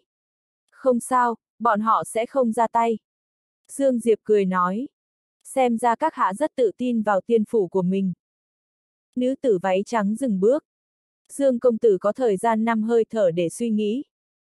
Dương Diệp nói. Thế này đi, tiên phủ ngươi cứu bằng hữu của ta ra, ta sẽ tặng ba món thần vật này cho các ngươi. Nữ tử váy trắng mỉm cười. Dương công tử có chút ngây thơ. Sao? Dương Diệp không hiểu. Nữ tử váy trắng cười nói. Dương công tử không biết tự hiểu lấy mình, thứ lỗi cho ta nói thẳng, ngươi cũng không có tư cách để cò kè mặc cả cùng tiên phủ ta. Tiên phủ ta bảo ngươi giao thì ngươi phải giao, hiểu chưa? Dương Diệp nhìn nữ tử váy trắng đột nhiên nở nụ cười. Thật hay cho câu bảo ta giao thì ta phải giao. Vậy cũng thứ lỗi cho ta nói thẳng, tiên phủ ngươi tính là gì chứ? Vừa dứt lời, Dương Diệp chợt dẫm mạnh chân phải một cái. Suy! Cả người Dương Diệp trực tiếp hóa thành một đường mờ lập tức biến mất. Cách đó không xa, nữ tử váy trắng này ngước mắt liếc nhìn Dương Diệp, trong phút chốc, chiếc đàn trong tay nàng được đặt ngang, tay ngọc nhẹ nhàng gảy dây đàn. Một sóng âm chấn động ra. Mà lúc này, Dương Diệp phung kiếm. ầm, kiếm quang văng ra khắp nơi, Dương Diệp cùng nữ tử váy trắng đều lùi về phía sau mấy trăm trượng. Dương Diệp còn chưa dừng lại đã có một sóng âm theo không gian chấn động về phía hắn. Sóng âm này giống như sóng nước, tầng tầng lớp lớp dao động đến, lại lặng lẽ không một tiếng động. Dương Diệp nhíu mày, huyền khí trong cơ thể vận chuyển, tay phải cầm kiếm chém từ phía trên xuống. Suy! Một kiếm hạ xuống, không gian ở trước mặt hắn giống như mảnh vải bị kiếm sắc bén cắt ra, sóng âm kia cũng bị một kiếm này của hắn nghiền nát ra. Mà vào lúc này, một âm thanh chói tai đột nhiên vang lên ở trong không trung. Hai tai Dương Diệp lập tức cảm thấy đau đớn, cùng lúc đó, hắn cảm giác bụng quặn đau, sau đó người bay về phía sau. Suy suy suy. Không gian ở trước mặt hắn đột nhiên dao động lên xuống một cách kỳ lạ. Trong không gian dường như có gì đó đang chuyển động. Đó là sóng âm. Dương Diệp bước ra một bước, hai luồng ý cảnh đột nhiên từ trong cơ thể hắn cuốn ra ngoài. Suy. Kiếm quang cường đại xé rách tất cả, nó đi qua nơi nào, không gian trực tiếp biến thành nơi tĩnh mịch, nơi thật sự tĩnh mịch. Sóng âm của nữ tử váy trắng này cũng bị một kiếm của Dương Diệp trực tiếp chém thành hư vô. Trong phút chốc, kiếm đã tới trước mặt nữ tử váy trắng này. Trong mắt nữ tử váy trắng lại hoàn toàn không sợ hãi nào, tay trái của nàng nâng đàn, tay phải nhẹ nhàng gảy, trong phút chốc, từng sóng âm giống như cuồng phong mưa rào từ trong chiếc đàn chấn động ra, những sóng âm này nối tiếp nhau cứng rắn chặn lại hai luồng ý cảnh cùng kiếm quang của Dương Diệp. Hai người bên rơi vào tình trạng rằng co. Trong chớp mắt yên lặng, cả người Dương Diệp đột nhiên trở nên mờ ảo. Kiếm vực. Trong phút chốc, đồng tử của nữ tử váy trắng đột nhiên co lại, lúc này, kiếm đã hạ xuống. ầm, um. Theo một tiếng nổ lớn vang lên, chiếc đàn trong tay nàng ầm ầm nổ tung ra, bản thân nàng lại trực tiếp bị chấn động đến ngoài mấy nghìn trượng. Lúc này, chân phải của Dương Diệp điểm một cái vào không trung, bản thân hóa thành một đường kiếm quang chợt bắn ra. Tốc độ rất nhanh. Trên đỉnh đầu của nữ tử váy trắng có một thanh kiếm trực tiếp hạ xuống. Lại là kiếm vực. Một kiếm này có uy lực còn mạnh hơn vừa rồi. Nữ tử váy trắng ngẩng đầu nhìn một kiếm này, bên trong tròng mắt đầy chấn động. Trước khi tới, nàng có tìm hiểu một chút về Dương Diệp nhưng không nhiều, chỉ biết đây là một thiên tài có thiên phú, có thực lực. Những người như vậy, trong tiên phủ nhiều không kể xiết. Bởi vậy nàng tuyệt đối không quá để ý. Nhưng nàng sai rồi. Sai hoàn toàn. Đây không phải là thiên tài mà là yêu nghiệt. Lúc này, kiếm đã hạ xuống. Trên đỉnh đầu của nữ tử váy trắng đột nhiên xuất hiện một vòng tròn màu và ngăn cản một kiếm này của Dương Diệp, tuy nhiên nó nhanh chóng dạn nứt. Chém! Dương Diệp đột nhiên phẫn nộ hét lên một tiếng và giơ kiếm chợt chém xuống.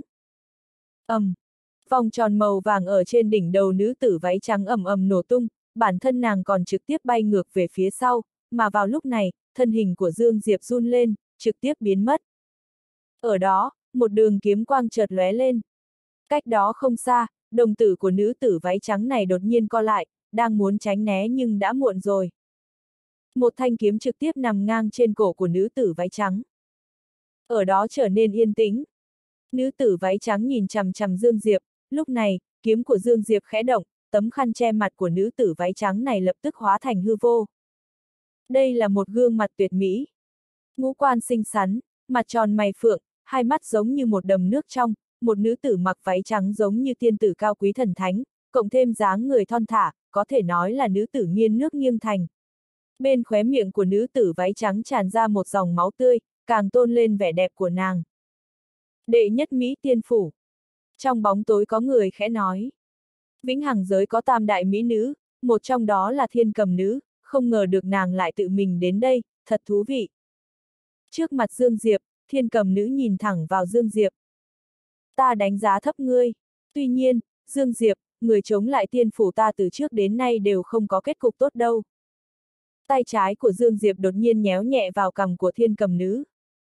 Gương mặt thật đẹp, thật làm ta thấy thương xót.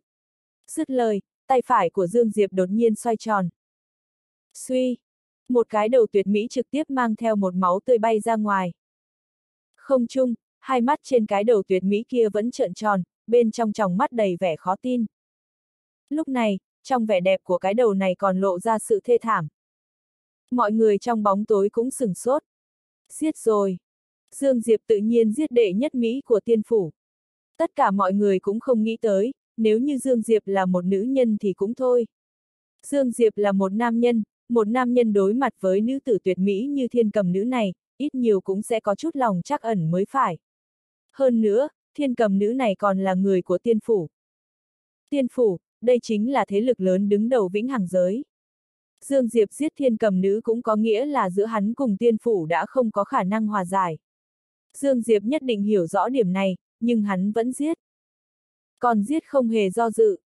Trong lòng đám người trong bóng tối đều chấn động, đồng thời còn kèm theo một chút kiêng kỵ. Kiêng kỵ. Lần này, Dương Diệp khiến bọn họ có chút kiêng kỵ.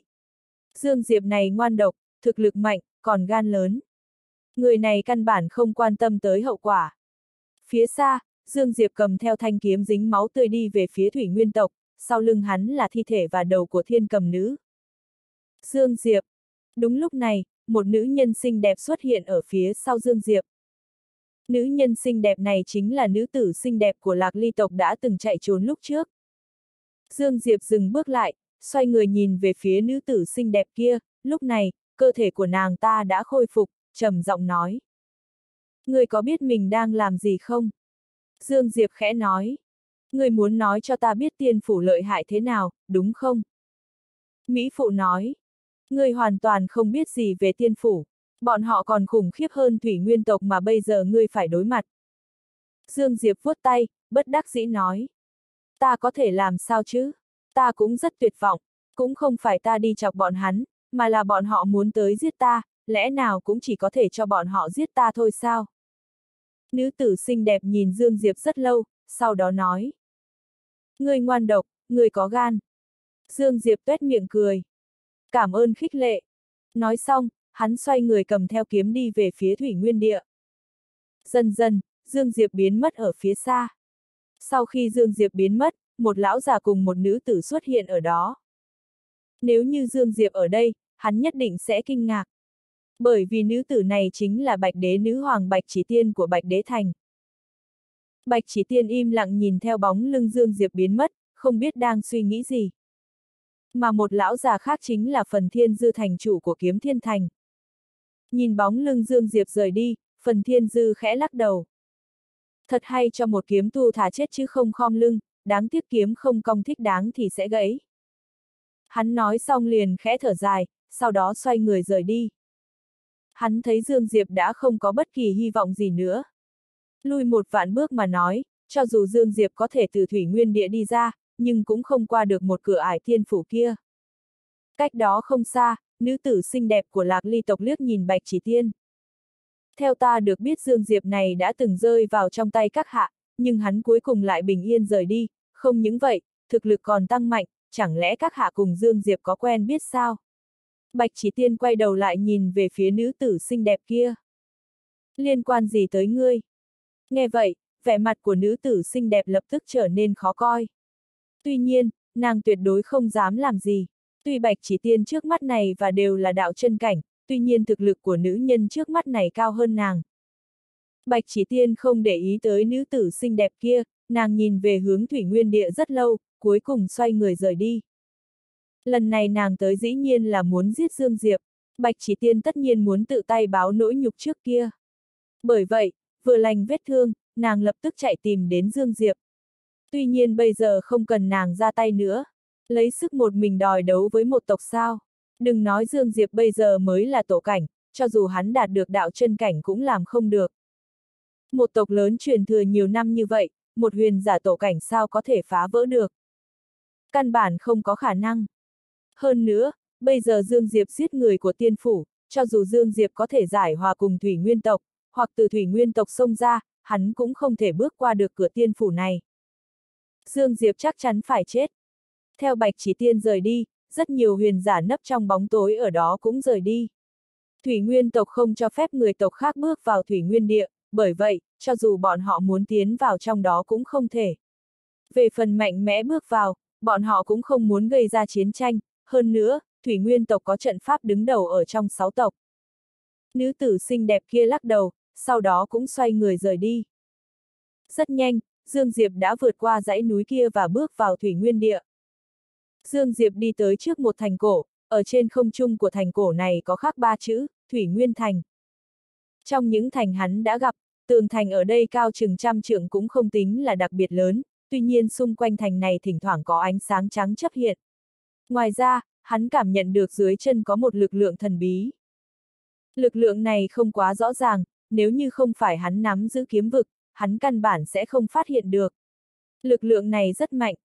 Dương Diệp im lặng một lát, sau đó cầm kiếm trong tay cắm ở trên mặt đất, ngẩng đầu nhìn thẳng vào Thủy Nguyên Thành. Hắn đang muốn nói thì đúng lúc này có một người thanh niên đột nhiên xuất hiện ở trước mặt Dương Diệp, người thanh niên liếc nhìn Dương Diệp, sau đó mở hai chân, cười nói. Dương Diệp, nếu không muốn An Nam tĩnh chết thì chui qua háng ta, ta. Đột nhiên có một đường kiếm quang chợt lóe lên ở nơi đây, người thanh niên dừng nói. Bên cạnh người thanh niên, Dương Diệp chậm rãi rút kiếm từ cổ họng của người thanh niên ra, máu tươi từ trong đó bắn ra như suối. Hai tay của người thanh niên che cổ họng của mình, không ngừng co giật trên mặt đất. Ở trong mắt hắn đầy vẻ hoảng sợ và khủng hoảng. Hắn không ngờ được mình ở trước mặt Dương Diệp này lại không có sức đánh trả như vậy. Đương nhiên, hắn càng không ngờ Dương Diệp hoàn toàn không bị hắn uy hiếp, trực tiếp ra tay. Dương Diệp liếc nhìn người thanh niên trên mặt đất. Rất đau đớn sao, thật ngại quá, ta không nắm chắc được mức độ, không một kiếm giết chết ngươi trong nháy mắt, không có việc gì, con người ta nhân từ, ngươi chỉ yêu cầu ta, ta sẽ giết ngươi, thế nào? Người thanh niên nhìn chằm chằm Dương Diệp, trong mắt đầy sát ý và gần giọng nói. Dương Diệp, ngươi, An Nam tính sẽ chết, nàng, nàng sẽ chết. Dương Diệp tuét miệng cười. Chúng ta không thảo luận chuyện đó, nói thật, ta đã lâu chưa từng luyện kiếm, cũng không biết kiếm pháp như thế nào, bây giờ vừa vặn có thể thử xem. Dứt lời, kiếm của Dương Diệp bắt đầu nhẹ nhàng vung động, theo mỗi một lần kiếm của hắn hạ xuống, trên thân của người thanh niên sẽ có một miếng thịt mỏng bay ra ngoài. Lăng trì. Người thanh niên hoảng sợ nhìn Dương Diệp, trong họng phát ra tiếng hét lớn. Nhưng kiếm của Dương Diệp không hề dừng lại tới, hắn cười nói. Cầu xin ta đi, cầu xin ta sẽ giết người đi. Con người của ta rất nhân từ. Chỉ trong thời gian không đến một lần hít thở, thịt trên thân người thanh niên này đã bị Dương Diệp gọt hết một phần ba. Giờ phút này, có thể nói người thanh niên gầy hơn vừa rồi hết một vòng lớn. Tiếng kêu thảm thiết không ngừng vang lên. ầm, um. Lúc này, một khí tức khủng khiếp đột nhiên từ trong thành cuốn tới. Khí tức này lại giống như mở cống xả lũ với khí thế không thể chống đỡ. Dương Diệp ngừng lại, ngẩng đầu nhìn lên. ầm ầm, kiếm ý và sát ý đột nhiên xuất hiện ở xung quanh hắn, hai luồng ý cảnh mạnh mẽ hợp lại làm một, hình thành một thanh kiếm lớn màu đỏ thẫm đâm ra với hình xoáy ốc, trực tiếp đâm vào trên luồng khí tức cường đại này. ầm, um, không gian ở đó chấn động mạnh, kiếm lớn cùng luồng khí tức kia lập tức tiêu tan. Lúc này, một nam tử trung niên từ trong thành chậm rãi đi ra. Nam tử trung niên mặc một áo bào màu trắng, trong tay cầm một thanh trường thương chậm rãi đến, khí tức trên người được thu lại nên hoàn toàn không nhìn ra sâu cạn. Chẳng bao lâu, nam tử trung niên đã đi tới đối diện Dương Diệp. Hắn liếc nhìn người thanh niên dưới chân của Dương Diệp, người thanh niên lập tức kêu rên. Tần tôn cứu ta, mau cứu ta. Nam tử trung niên tên là Tần Tôn khẽ lắc đầu. Thủy Nguyên Tuần, người cũng biết cường giả không thể sỉ nhục chứ. Hơn nữa còn là người yếu sỉ nhục người mạnh, chuyện giữa hắn cùng Thủy Nguyên tộc ta, sao ngươi có thể nhúng tay vào được. Người thanh niên đang muốn nói, lúc này kiếm trong tay Dương Diệp đột nhiên chém ngang. Suy! Cơ thể người thanh niên này lập tức tách ra làm hai. Máu tươi bắn đầy đất. Dương Diệp lau máu tươi trên thân kiếm, sau đó ngẩng đầu nhìn về phía Tần Tôn. Ta đã đến đây rồi. Nói thử xem, Thủy Nguyên tộc ngươi muốn thế nào? Tần Tôn liếc nhìn Dương Diệp và khẽ nói. Nói đạo lý trước à? Dương Diệp lắc đầu. Có đạo lý gì để nói chứ? Nói đạo lý chẳng qua là lãng phí thời gian mà thôi. Bởi vì bất kể thế nào, các người đều sẽ ra tay cướp ba món thần vật này, đồng thời tiêu diệt Dương Diệp ta. Đúng không? Tần Tôn nhìn Dương Diệp rất lâu, sau đó nói. Ngươi hiểu rõ tất cả, nhưng ta có điểm không hiểu, ngươi biết rõ kết quả, vì sao còn muốn tới thủy nguyên tộc ta, chẳng lẽ thật sự là vì nữ tử kia sao? Dương Diệp suy nghĩ một lát, sau đó nói. Ta cảm thấy chuyện giữa nam nhân nên để nam nhân chúng ta tự mình giải quyết.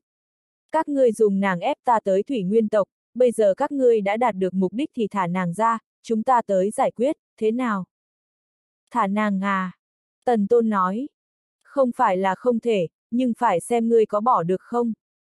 Tay phải của Dương Diệp mở ra, một tòa tháp nhỏ màu vàng xuất hiện ở trong lòng bàn tay hắn. Hồng mông tháp. Dương Diệp nhìn thẳng vào tần tôn. Ba món thần vật đều ở trong này, để cho nàng đi ra đi. Tần tôn nhìn vào Dương Diệp rất lâu. Xin lỗi, sợ rằng nàng không ra được. Hai mắt Dương Diệp chậm rãi nhắm lại. Xiết rồi sao? Tần tôn chậm rãi đi về phía Dương Diệp.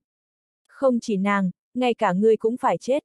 Hai người các ngươi có thiên phú hiếm thấy trên đời, cho dù là thủy nguyên tộc ta cũng không dám để cho các ngươi sống sót. Bây giờ không giết nàng và ngươi, qua mấy năm nữa, chúng ta sợ rằng muốn giết chết cũng không giết được. Tuy nhiên ngươi yên tâm, xuất phát từ sự tôn trọng đối với cường giả, nàng chết tuyệt đối không đau đớn. Mà ngươi cũng sẽ không chết quá đau khổ. Hắn vừa dứt lời, ở xung quanh Dương Diệp đột nhiên xuất hiện hai lão già. Hai đạo chân cảnh.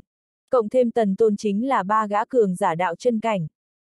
Không chỉ có vậy, mặt đất ở dưới chân của Dương Diệp đột nhiên bắt đầu chấn động, rất nhanh liền rất nhiều sợi ánh sáng thần bí trải rộng dưới chân của Dương Diệp, những sợi ánh sáng này dày đặc giống như sợi tóc, bao quanh dính lấy Dương Diệp. Lúc này, Dương Diệp cảm giác có một lực lượng cực kỳ cường đại đang nắm kéo hai chân của hắn, bây giờ hai chân hắn căn bản không có cách nào rời khỏi mặt đất.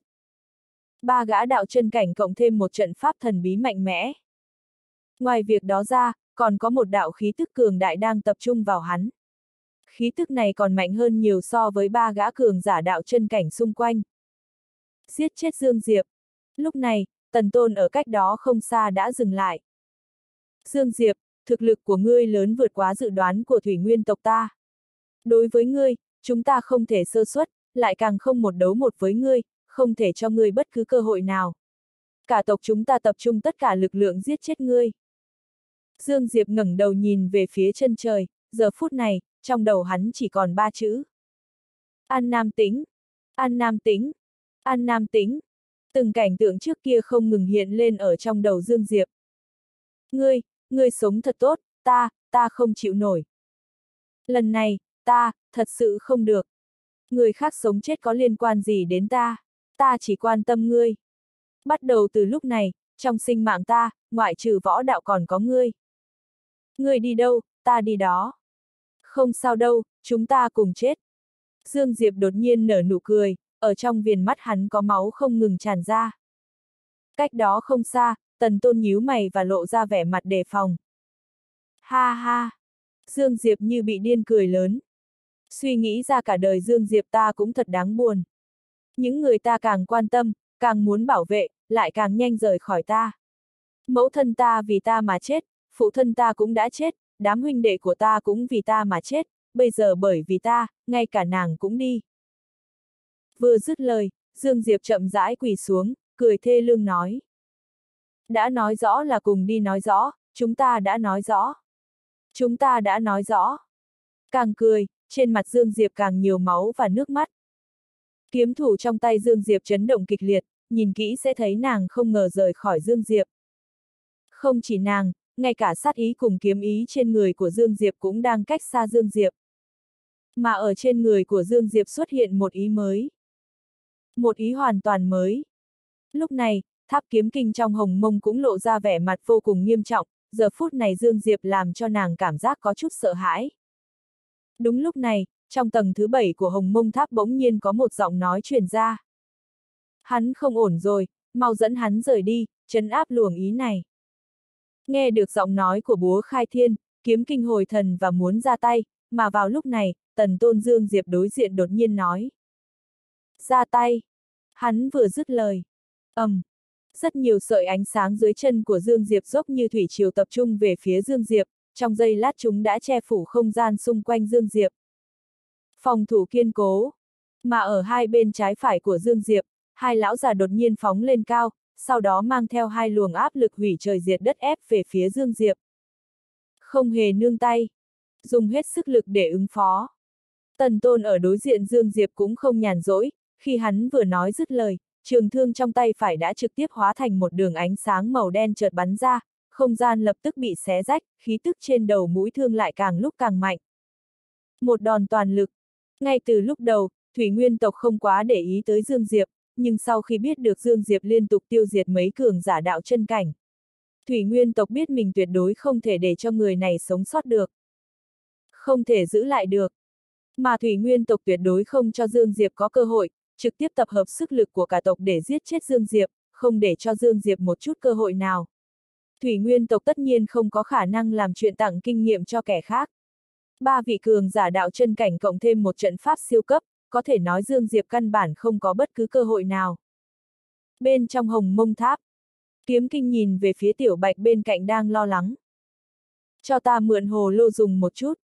Tiểu bạch ngây người, sau đó vội vàng đưa kiếm hồ tới trước mặt kiếm kinh, nhưng, kiếm hồ kia lại bắt đầu chấn động, trực tiếp phóng ra kiếm ý đẩy lui kiếm kinh. Không đồng ý. Ngoại trừ tiểu bạch, kiếm hồ không muốn để cho bất kỳ kẻ nào tới gần. Cho dù là kiếm kinh cũng không được. Nhìn thấy cảnh tượng như vậy, kiếm kinh lập tức nhíu mày, không có kiếm hồ, nàng căn bản không có khả năng đối đầu được với thủy nguyên tộc. Mà vào lúc này, tiểu bạch ở cách đó không xa đột nhiên gầm lên giận dữ. Kiếm kinh nhìn về phía tiểu bạch, chỉ thấy hai mắt tiểu bạch trợn tròn, hai móng ôm kiếm hồ kia và đập loạn. Kiếm kinh. Giờ phút này tiểu bạch hiển nhiên đã tức tới mất lý trí, nàng đột nhiên ôm lấy búa khai thiên để ở trên kiếm hồ kia, sau đó trong miệng nói liên hồi không biết đang nói gì. Ý tứ rất rõ ràng, không cho sử dụng ta lại bổ ngươi, bổ ngươi, bổ ngươi. Nàng hoảng sợ. Nhìn thấy bộ dạng của Dương Diệp bây giờ, nàng thật sự hoảng sợ. Trước đây Dương Diệp lĩnh ngộ sát ý, nàng cũng chưa từng hoảng sợ như thế. Kiếm hồ kia nhìn thấy tiểu bạch giống như phát điên, hắn cũng hoảng sợ, không dám chống lại tiểu bạch, ít nhất không thể khiêu chiến tiểu bạch trong tình trạng như bây giờ, nếu không nàng thật sự sẽ bổ nó. Kiếm kinh thuận lợi lấy được kiếm hồ. Trong hiện thực, theo một đường kiếm quang hiện lên, những sợi ánh sáng dưới chân của Dương Diệp đột nhiên vỡ ra từng tầng. Trước mặt Dương Diệp, trong tay kiếm kinh cầm kiếm hồ, tay phải tạo ra một thủ ấn kỳ lạ. Trong phút chốc, ong, theo một tiếng kiếm ngân vang lên, mấy đường kiếm quang hiện lên theo hình cung. ầm ầm ầm, hai lão già kia cùng tần tôn lập tức bị ba đường kiếm quang này đẩy lui. Kiếm kinh trực tiếp nắm lấy Dương Diệp trên mặt đất và biến mất ở phía chân trời.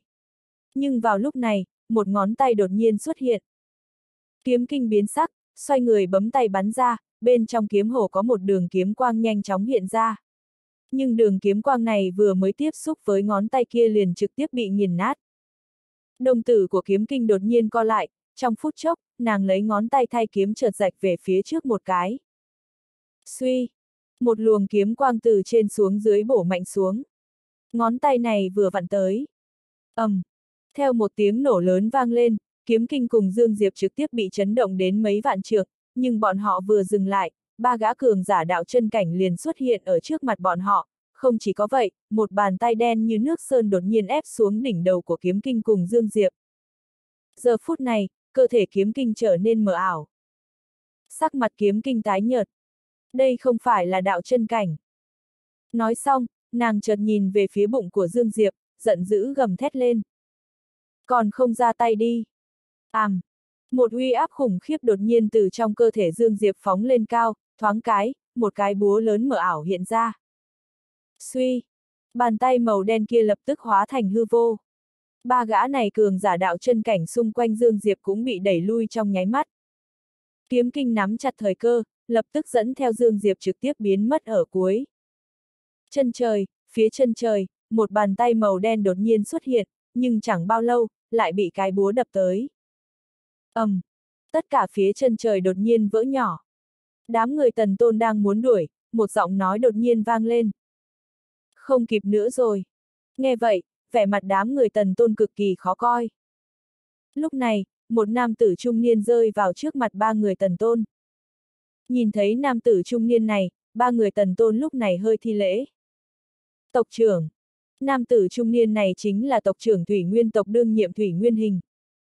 Thủy Nguyên Hình nhìn lòng bàn tay của mình, ở trong lòng bàn tay hắn có một vết kiếm cạn và một vết búa tương đối sâu. Nếu vết búa kia sâu hơn một chút nữa, sợ rằng bàn tay này của hắn sẽ không có. Búa khai thiên. Trong mắt Thủy Nguyên Hình có chút nghiêm trọng. Không ngờ được nó đã khôi phục lại một ít. Không phải là, cũng đúng, xem ra hồng mông tháp này đã đang trợ giúp nó mà không phải kìm chế nó. Còn có kiếm hồ kia, vật ấy có thể tổn thương ta. Tộc trưởng. Lúc này, Tần Tôn trầm giọng nói. Người này tuyệt đối không thể để sống sót được, thiên phú của người này hiếm thấy trên đời, nếu như để hắn trưởng thành lên, không đúng, hắn đã trưởng thành rồi, sau này hắn nhất định là kẻ địch lớn của Thủy Nguyên tộc ta. Thủy Nguyên hình từ từ nhắm hai mắt lại. Tất nhiên không thể giữ lại, nhưng ở bên cạnh hắn có búa khai thiên cùng với kiếm kinh của kiếm thiên thành nên có chút phiền phức, như vậy thì cũng thôi. Chủ yếu là xung quanh có một vài đám đạo trích âm thầm nhìn trộm, chắc hẳn có một hoàng tuyền ở phía sau. Nếu như ở trong thủy nguyên địa thì không phải sợ những người này, nhưng bây giờ Dương Diệp đã rời khỏi thủy nguyên địa, những người này sẽ không hề e ngại nữa. Nói đến đây, hắn mở mắt. Ta đi tới tiên phủ một chuyến. Tần tôn ngây người, sau đó nói. Tộc trưởng, nếu như đi tìm bọn họ, chẳng phải có nghĩa sẽ nhường ra ba món thần vật này sao? Thủy Nguyên Hình liếc nhìn Tần Tôn. Người này còn đáng sợ hơn ba món thần vật, nếu không giết hắn, Thủy Nguyên tộc ta sẽ không có ngày yên ổn. Vừa dứt lời, hắn trực tiếp biến mất. Trong một dãy núi, kiếm kinh vừa hạ xuống đất liền trực tiếp ném Dương Diệp ra ích mấy trăm trượng, sau đó vẻ mặt đề phòng nhìn Dương Diệp. Không bình thường. Giờ phút này Dương Diệp đặc biệt không bình thường. Lúc này hồng mông tháp này đã rời khỏi Dương Diệp, hồng mông tháp cũng đặc biệt đề phòng Dương Diệp. Đầu Dương Diệp không ngừng lắc lư, trong miệng không ngừng lẩm bẩm gì đó, mà ở quanh người hắn có một ý cảnh càng lúc càng mạnh. Nó mạnh tới mức nào? Mạnh mẽ đến mức cho dù là sát ý này cùng kiếm ý cũng đã bị áp chế. Trong chớp mắt yên lặng, giọng nói búa khai thiên đột nhiên từ bên trong hồng mông tháp này vang lên. Không tốt, hắn đã mất đi thần trí, đây, đây là ý cảnh điên, hắn. Thật sự điên rồi. Đúng lúc này, Dương Diệp đột nhiên ngẩng đầu lên nhìn về phía kiếm kinh. Ngươi là tĩnh nhi, không không, ngươi không phải, ngươi không phải, là ngươi, ngươi giết nàng, là ngươi. Vừa dứt lời, Dương Diệp đột nhiên biến mất. ầm, um, một ý cảnh mạnh mẽ từ trong cơ thể Dương Diệp chấn động ra. Trong mắt kiếm kinh đầy vẻ khó tin. Không có khả năng, đây là ý cảnh đạo chân cảnh, không có khả năng, ngươi không có khả năng trực tiếp đạt được ý cảnh đạo chân cảnh, không, không đúng, huyết mạch của ngươi có vấn đề, ngươi. Mà giờ phút này, Dương Diệp đột nhiên xuất hiện ở đỉnh đầu kiếm kinh, trong phút chốc, một đường kiếm quang chém xuống đầy ngoan độc. Kiếm vực. Một kiếm này, Dương Diệp tự nhiên sử dụng ra kiếm vực. Kiếm vực thêm ý cảnh đạo chân cảnh. Trong lòng kiếm kinh hoàng hốt, trong phút chốc, một kiếm quang từ trên người nàng chấn động ra. ầm, um, theo một tiếng nổ lớn rung trời vang lên, kiếm quang trên thân kiếm kinh lập tức nổ tung ra, bản thân kiếm kinh lập tức bị chấn động bay đến mấy vạn trượng. Mà giờ phút này, cơ thể kiếm kinh đã đặc biệt mờ ảo, gần như trong suốt. Lúc này, giọng nói búa khai thiên đột nhiên vang lên ở trong không trung. Hắn đã hoàn toàn điên rồi. Đi, lập tức đi thôi. Kiếm kinh nhìn thân thể mình, vẻ mặt lập tức trở nên khó coi. Một kiếm. Một kiếm vừa rồi của Dương Diệp, thiếu chút nữa đã trực tiếp hủy diệt nàng. Nàng vừa giận lại vừa sợ. Kiếm kinh nhìn về phía Dương Diệp, mà giờ phút này, Dương Diệp lại bắn nhanh về phía nàng. Nhìn thấy cảnh tượng như vậy, kiếm kinh biến sắc. Nàng còn có thể nhận một kiếm của Dương Diệp nữa sao? Đúng lúc này, Tiểu Bạch đột nhiên xuất hiện ở trước mặt nàng, Tiểu Bạch nhìn Dương Diệp trước mặt không hề chớp mắt, thần kỳ là nàng không sợ hãi, tín nhiệm. Nàng vĩnh viễn đều tín nhiệm Dương Diệp như vậy, cho dù là khi Dương Diệp điên. Khi kiếm quang cách đầu Tiểu Bạch có nửa tấc thì ngừng lại. Nhìn thấy cảnh tượng như vậy, vẻ mặt kiếm kinh lập tức buông lỏng. Giờ phút này căn bản không có người nào có thể khống chế Dương Diệp, bởi vì búa khai thiên vừa rồi đã liên tục ra tay hai lần, lúc này tình hình cũng cực kỳ tệ. Trước mặt Dương Diệp, Tiểu Bạch nhìn hắn một lúc, nước mắt không ngừng chảy ra. Dương Diệp nhìn Tiểu Bạch, vẻ mặt đau khổ, phải nói là dẫy ruộng, một lát sau, kiếm quang kia lại hạ xuống, sẽ lập tức chém xuống đầu của Tiểu Bạch lên. Tiểu Bạch vẫn không rời đi.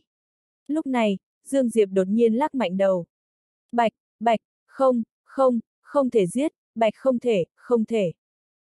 Vừa dứt lời, hắn đột nhiên xoay người giận dữ gầm thét lên, sau đó thân hình biến mất ở cuối chân trời. Hướng kia chính là thủy nguyên địa. Tiểu Bạch lại muốn đuổi theo, nhưng đã bị kiếm kinh cản lại. Tiểu Bạch căm tức nhìn kiếm kinh, kiếm kinh nhìn về phía hồng mông tháp và bấm tay bắn ra, hồng mông tháp chấn động mạnh, sau đó đám người Tô Thanh Thi xuất hiện. Nhìn thấy Tô Thanh Thi, Tiểu Bạch bỗng chốc nhào tới trong lòng nàng và khóc giống lên. Lúc này, trên gương mặt Tô Thanh Thi đã giàn rụa nước mắt. Lúc này, kiếm kinh trầm giọng nói. Ta biết tâm tình của các ngươi lúc này, nhưng các người tốt nhất không nên đi tìm hắn, hắn bây giờ là thật sự đã không nhận người thân nữa rồi. Tô Thanh Thi khẽ lắc đầu. Ta muốn đi cùng hắn. Tuyệt đối không thể. Đúng lúc này, Tử Nhi đột nhiên nói. Mọi người nhìn về phía Tử Nhi. Tử Nhi từ từ nhắm hai mắt lại. Thanh Thi tỷ, bây giờ hắn đã rất đau đớn, nếu như chúng ta đi tìm hắn, hắn lại giết chúng ta, thử nghĩ xem, nếu như hắn tỉnh táo lại sẽ thế nào. Tô Thanh Thi im lặng. Tử Nhi khẽ nói. Ta cũng muốn làm bạn ở bên cạnh hắn hơn bất kỳ ai, nhưng chúng ta bây giờ không thể làm như thế. Điều bây giờ chúng ta phải làm là cố gắng bảo vệ mình, sau đó chờ hắn tỉnh táo lại. Hắn sẽ tỉnh táo lại sao? Trong mắt Tô Thanh Thi có chút mờ mịt, giờ phút này, nàng có cảm giác mất đi chỗ dựa. Sẽ tỉnh lại. Lúc này, kiếm kinh trầm giọng nói. Kiếm ý cùng sát ý của hắn bị áp chế, dẫn đến ý cảnh điên này chiếm thế thượng phong, nếu như sát ý cùng kiếm ý của hắn có thể ép ngược, hắn liền có thể khôi phục lại. Bây giờ hắn rất nguy hiểm. Tô Thanh Thi từ từ nhắm hai mắt lại. Tô Thanh Thi từ từ nhắm hai mắt lại. Đúng không? Kiếm kinh liếc nhìn Tô Thanh Thi. Bây giờ hắn không nguy hiểm, là người khác nguy hiểm. Ngươi thấy chưa, Bây giờ ý cảnh này của hắn là đạo chân cảnh. Hơn nữa, người tuy đã điên, nhưng ý thức chiến đấu cùng bản năng trước nguy cơ tuyệt đối không mất đi. Bây giờ người khác gặp phải hắn mới là thật sự nguy hiểm. Tô Thanh Thi nói, không có cách nào khống chế hắn sao? Kiếm kinh suy nghĩ một lát, sau đó nói, có, dùng thực lực áp chế hắn, sau đó vây khốn hắn. Nhưng muốn làm vậy thì cần phải có thực lực vượt xa hắn mới được. Nếu chỉ hơn một chút, sợ rằng còn bị hắn giết ngược lại, chỉ có cao hơn hắn rất nhiều mới được. Nói đến đây, nàng dừng lại một lát, sau đó nói. Chúng ta đi tới vùng đất kiếm khư, ta xem thử nàng có bằng lòng giúp không, tuy nhiên khả năng này là rất nhỏ, bởi vì có thể nàng sẽ không ra khỏi vùng đất kiếm khư. Chúng ta đi thử xem. Tô Thanh Thi nói. Kiếm kinh khẽ gật đầu, sau đó nhìn về phía hồng mông tháp trước mặt nàng, lúc này, tiểu bạch bỗng chốc ôm hồng mông tháp vào trong lòng, móng nhỏ của nàng chỉ vào hồng mông tháp, sau đó vung vẩy vài cái. Ý kia là tháp này là Dương Diệp. Kiếm kinh liếc nhìn tiểu bạch. Ta sẽ không cướp tháp của hắn. Đúng, ta sẽ cố gắng hết sức giúp đỡ hắn. Tiểu bạch liếc nhìn kiếm kinh, ánh mắt ôn hòa hơn rất nhiều. Nhìn thấy cảnh tượng như vậy, trong lòng kiếm kinh lập tức buông lỏng, cuối cùng thái độ nhóc này với nàng cũng tốt hơn một chút. Tiểu Bạch quay đầu lại liếc nhìn hướng Dương Diệp rời đi lúc trước, trong mắt đầy lưu luyến và cả lo lắng. Tuy vừa rồi Dương Diệp không ra tay với nàng, nhưng bộ dạng hắn lúc đó thật sự rất đáng sợ, còn đáng sợ hơn lúc lĩnh ngộ sát ý. Lúc này, Tiểu Thiên đi tới bên cạnh Tiểu Bạch và ôm lấy Tiểu Bạch, khẽ nói. Đừng lo lắng, hắn sẽ tốt thôi. Chúng ta đi tới vùng đất kiếm khư chờ hắn. Tiểu Bạch liếc nhìn Tiểu Thiên, sau đó bỗng chốc khóc òa lên. Nơi đây không thích hợp để ở lâu. Kiếm Kinh đột nhiên nói. Chúng ta phải mau chóng đi tới vùng đất kiếm khư, nếu không để cho những thế lực khác biết các ngươi ở đây, bọn họ nhất định sẽ ra tay với các ngươi để áp chế Dương Diệp. Tô Thanh Thi nhìn phương hướng Dương Diệp rời đi trước đó, sau đó nói. Chúng ta đi thôi. Rất nhanh, đoàn người bước vào trong hồng mông tháp. Kiếm kinh nhìn hồng mông tháp trước mặt và im lặng một lát, sau đó thân hình của nàng run lên, dẫn theo hồng mông tháp biến mất ở cuối chân trời. Thủy Nguyên Địa, Thủy Nguyên Thành.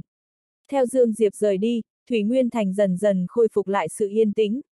Những tộc nhân Thủy Nguyên tộc vẫn vô cùng xa lạ về Dương Diệp, có rất ít người biết Dương Diệp là ai. Đột nhiên, một người thanh niên xuất hiện ở bên ngoài Thủy Nguyên Thành. Người thanh niên mặc trang phục rách nát, tóc cũng rối bời. Trong mắt lộ vẻ trống rỗng, người thanh niên thỉnh thoảng lắc đầu, trong miệng không ngừng lẩm bẩm gì đó, thoạt nhìn chính là một người điên. Nam tử lôi thôi đi không mục đích về phía Thủy Nguyên Thành, hắn càng lúc càng gần Thủy Nguyên Thành. Đúng lúc này, một nam tử trung niên xuất hiện ở trước mặt Dương Diệp hỏi. Người tới là ai? Nam tử lôi thôi đột nhiên ngẩng đầu, trong phút chốc, sắc mặt nam tử trung niên này đại biến. Suy! Nam tử lôi thôi chẳng biết đã xuất hiện ở phía sau nam tử trung niên từ lúc nào, một cái đầu mang theo một cột máu phóng lên cao tới một trường. Nam tử lôi thôi đột nhiên đưa tay đón lấy cái đầu đầm đìa máu kia, trong phút chốc, nam tử lôi thôi chợt đập về phía Thủy Nguyên Thành. ầm, um, cái đầu rơi vào trên tường thành, lập tức nổ tung ra. Làm càn. Đúng lúc này, một tiếng hét phẫn nộ đột nhiên từ trong thành vang lên, ngay sau đó, một đường ánh sáng bạc từ phía chân trời kéo tới. Ánh sáng màu bạc có tốc độ rất nhanh, lập tức đi tới đỉnh đầu của nam tử ăn mặc lôi thôi. Nam tử lôi thôi đột nhiên ngẩng đầu, một ý cảnh khủng khiếp đột nhiên từ trong cơ thể hắn tản ra. Ý cảnh điên. Ý cảnh này vô cùng mạnh mẽ, trực tiếp ép kiếm ý và sát ý của Dương Diệp không thể động đậy. Ý cảnh này mới vừa xuất hiện, trực tiếp đánh nát đường ánh sáng bạc kia. Mà lúc này, một thanh trường thương đi tới vị trí giữa chân mày Dương Diệp của. Nhưng khi trường thương cách ở giữa chân mày của nam tử lôi thôi có gần tấc liền ngừng lại. Bởi vì tay của nam tử lôi thôi đã nắm lấy thanh trường thương này, nắm một đầu khác của trường thương là một nam tử trung niên, nam tử trung niên này chính là Tần Tôn. Khi nhìn thấy nam tử lôi thôi, Tần Tôn biến sắc. Dương Diệp, là ngươi. Nam tử ăn mặc lôi thôi này chính là Dương Diệp. Dương Diệp ngẩng đầu nhìn về phía Tần Tôn, vẻ mặt mờ mịt, trong phút chốc, quanh người hắn đột nhiên tản ra ý cảnh điên mãnh liệt, thoáng cái, thân hình của Dương Diệp run lên, theo trường thương đi tới trước mặt Tần Tôn, Tần Tôn biến sắc, chân phải nhẹ nhàng điểm một cái, cả người lướt về phía sau nghìn trường. Nhưng ngay vào lúc này, một đường kiếm quang chợt lóe lên ở trước mặt hắn, kiếm quang cực nhanh, giống như bóng câu qua khe cửa. Trong phút chốc, một thanh kiếm đột nhiên rơi xuống đỉnh đầu của tần tôn. Kiếm vực. Dương Diệp lại thi triển ra kiếm vực, mặc dù không có kiếm ý, nhưng ý cảnh điên của hắn lúc này còn muốn mạnh mẽ hơn kiếm ý cùng sát ý. Ý cảnh điên tính đặc biệt là càng điên, càng ma quỷ, lại càng mạnh. Một kiếm này hạ xuống, đồng tử của tần tôn đột nhiên co lại thành đầu kim. Một kiếm thật mạnh. Trong đầu hắn chỉ còn ý nghĩ này. Tuy nhiên, tần tôn tuyệt đối không giơ tay chịu chói, hai chân hắn hơi gập lại, trường thương trong tay chợt đâm lên trên. Thương vừa ra, một ánh sáng màu bạc từ trong cơ thể tần tôn theo trường thương phóng lên cao. Nhưng luồng ánh sáng màu bạc này vừa mới tiếp xúc với đường kiếm kia của Dương Diệp liền giống như tuyết gặp dầu sôi, lập tức tan thành hư vô. Kiếm hạ xuống, trực tiếp chém trường thương trong tay tần tôn thành hai đoạn, mà lúc này, tần tôn đã lùi về phía sau mấy trăm trượng, nhưng hắn còn chưa hạ xuống đất, kiếm của Dương Diệp đã đi tới đỉnh đầu của hắn. Còn là kiếm vực thêm ý cảnh điên. Nhìn thấy cảnh tượng như vậy, đồng tử tần tôn lập tức co lại và không kịp suy nghĩ gì khác, một khí thế mạnh mẽ từ trong cơ thể hắn cuốn ra ngoài, hình thành một tấm màn phòng ngự thật dày. Nhưng lúc này một kiếm này của Dương Diệp mạnh mẽ tới mức nào? Khí thế kia căn bản không ngăn cản được kiếm của Dương Diệp. Rất nhanh, kiếm bổ vào trên đầu tần tôn. Mà vào giây phút đó, linh hồn tần tôn đột nhiên rời khỏi cơ thể, vọt đến ngoài mấy ngàn trượng. Lúc này, kiếm đã rơi xuống. Suy, cơ thể tần tôn trực tiếp hóa thành hai nửa. Ngoài mấy ngàn trượng, vẻ mặt linh hồn tần tôn cực kỳ khó coi, hắn không ngờ được Dương Diệp này còn có thể giết trở về, càng không nghĩ đến thực lực của Dương Diệp này lại có thể mạnh mẽ đến mức độ này. Mà giờ phút này, trên người của Dương Diệp phát ra luồng ý cảnh có khí thức càng lúc càng mạnh. Từ giây phút Dương Diệp bắt đầu chiến đấu, luồng ý cảnh này lại không ngừng trở nên mạnh mẽ. Dương Diệp cũng không đuổi theo linh hồn của Tần Tôn, hắn có chút mờ mịt đi về phía Thủy Nguyên Thành, nhìn thấy cảnh tượng như vậy, Tần Tôn biến sắc, vội vàng nói. Ngăn cản hắn. Rất nhanh, hai lão già xuất hiện ở trước mặt Dương Diệp. Cả người đều là đạo chân cảnh. Đột nhiên, Dương Diệp lập tức biến mất, lúc xuất hiện lần nữa, đã ở trước mặt hai lão già kia, thoáng cái, một đường kiếm quang bổ về phía bọn họ. Kiếm vực. Lại là kiếm vực. Hơn nữa, không chỉ đơn thuần là kiếm vực cùng ý cảnh điên, ở trong lòng bàn tay Dương Diệp có rất nhiều oán linh đột nhiên vọt ra, sau đó liên tục không ngừng tập trung về phía thanh kiếm trong tay hắn.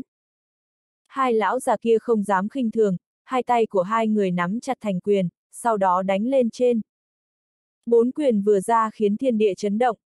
Nhưng khi một kiếm kia của Dương Diệp hạ xuống, trong chớp mắt này, hai lão già kia lập tức bị chấn động bay ra ngoài. Kha kha. Rất nhiều oán linh không ngừng vây quanh Dương Diệp. Nếu là trước đây, sát ý cùng kiếm ý của Dương Diệp sẽ chấn áp những oán linh này, bởi vì chúng sẽ ảnh hưởng thần trí của hắn. Mà trong giờ phút này, thần trí của Dương Diệp đã không minh mẫn, căn bản không cần những oán linh ảnh hưởng, bởi vậy, ý cảnh điên của hắn hoàn toàn không chấn áp, không chỉ vậy trái lại còn đang giúp những oán linh kia, có thể nói, lúc này những oán niệm này xem như đã hoàn toàn được thả ra. Sau một kiếm đẩy lui hai lão già, Dương Diệp trực tiếp hóa thành một đường ánh sáng màu đen tiến vào Thủy Nguyên Thành. Sau lưng hắn là từng gương mặt oán linh dữ tợn. Nhìn thấy cảnh tượng như vậy, Tần Tôn ở cách đó không xa hoảng hốt, giận dữ gầm thét lên. Ngăn cản hắn, nhanh ngăn cản hắn, nhanh. Lúc này có thể nói trong lòng Tần Tôn đã sợ hãi tới cực điểm. Bây giờ Dương Diệp rõ ràng không ổn, đặc biệt là những oán linh trên toàn thân Dương Diệp kia, chúng vừa giữ tợn lại điên cuồng, nếu như tiến vào trong thành, không thể nghi ngờ là một tai họa cực lớn cho Thủy Nguyên Thành. Nhưng oán linh còn không phải là thật sự đáng sợ, thật sự đáng sợ là Dương Diệp. Giờ phút này Dương Diệp không phải một người bình thường. Nhưng hai lão già đạo chân cảnh căn bản không ngăn cản được Dương Diệp, Dương Diệp mang theo rất nhiều oán linh bước vào trong Thủy Nguyên Thành. Trong thành, sau khi Dương Diệp đi vào trong thành, từng cái đầu trực tiếp phóng lên cao. Những người này cũng không phải do hắn giết, mà do những oán linh xung quanh hắn giết, tuy nhiên hễ là người ngăn cản ở trước mặt hắn đều sẽ bị một đường kiếm quang chém thành hai đoạn. Mở trận. Đúng lúc này, một tiếng gầm thét giận dữ đột nhiên vang lên ở trong thành.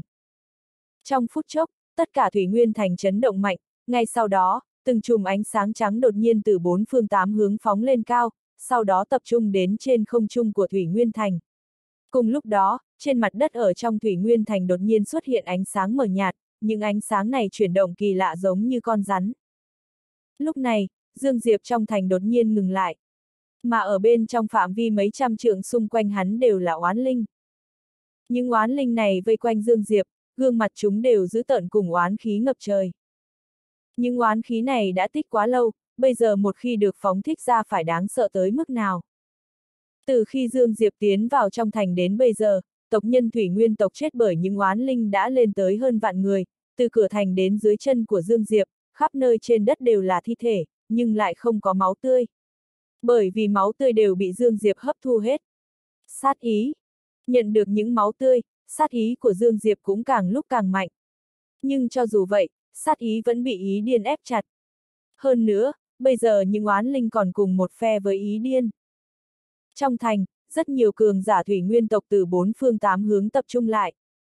Không bao lâu, xung quanh Dương Diệp lại tập trung rất nhiều cường giả.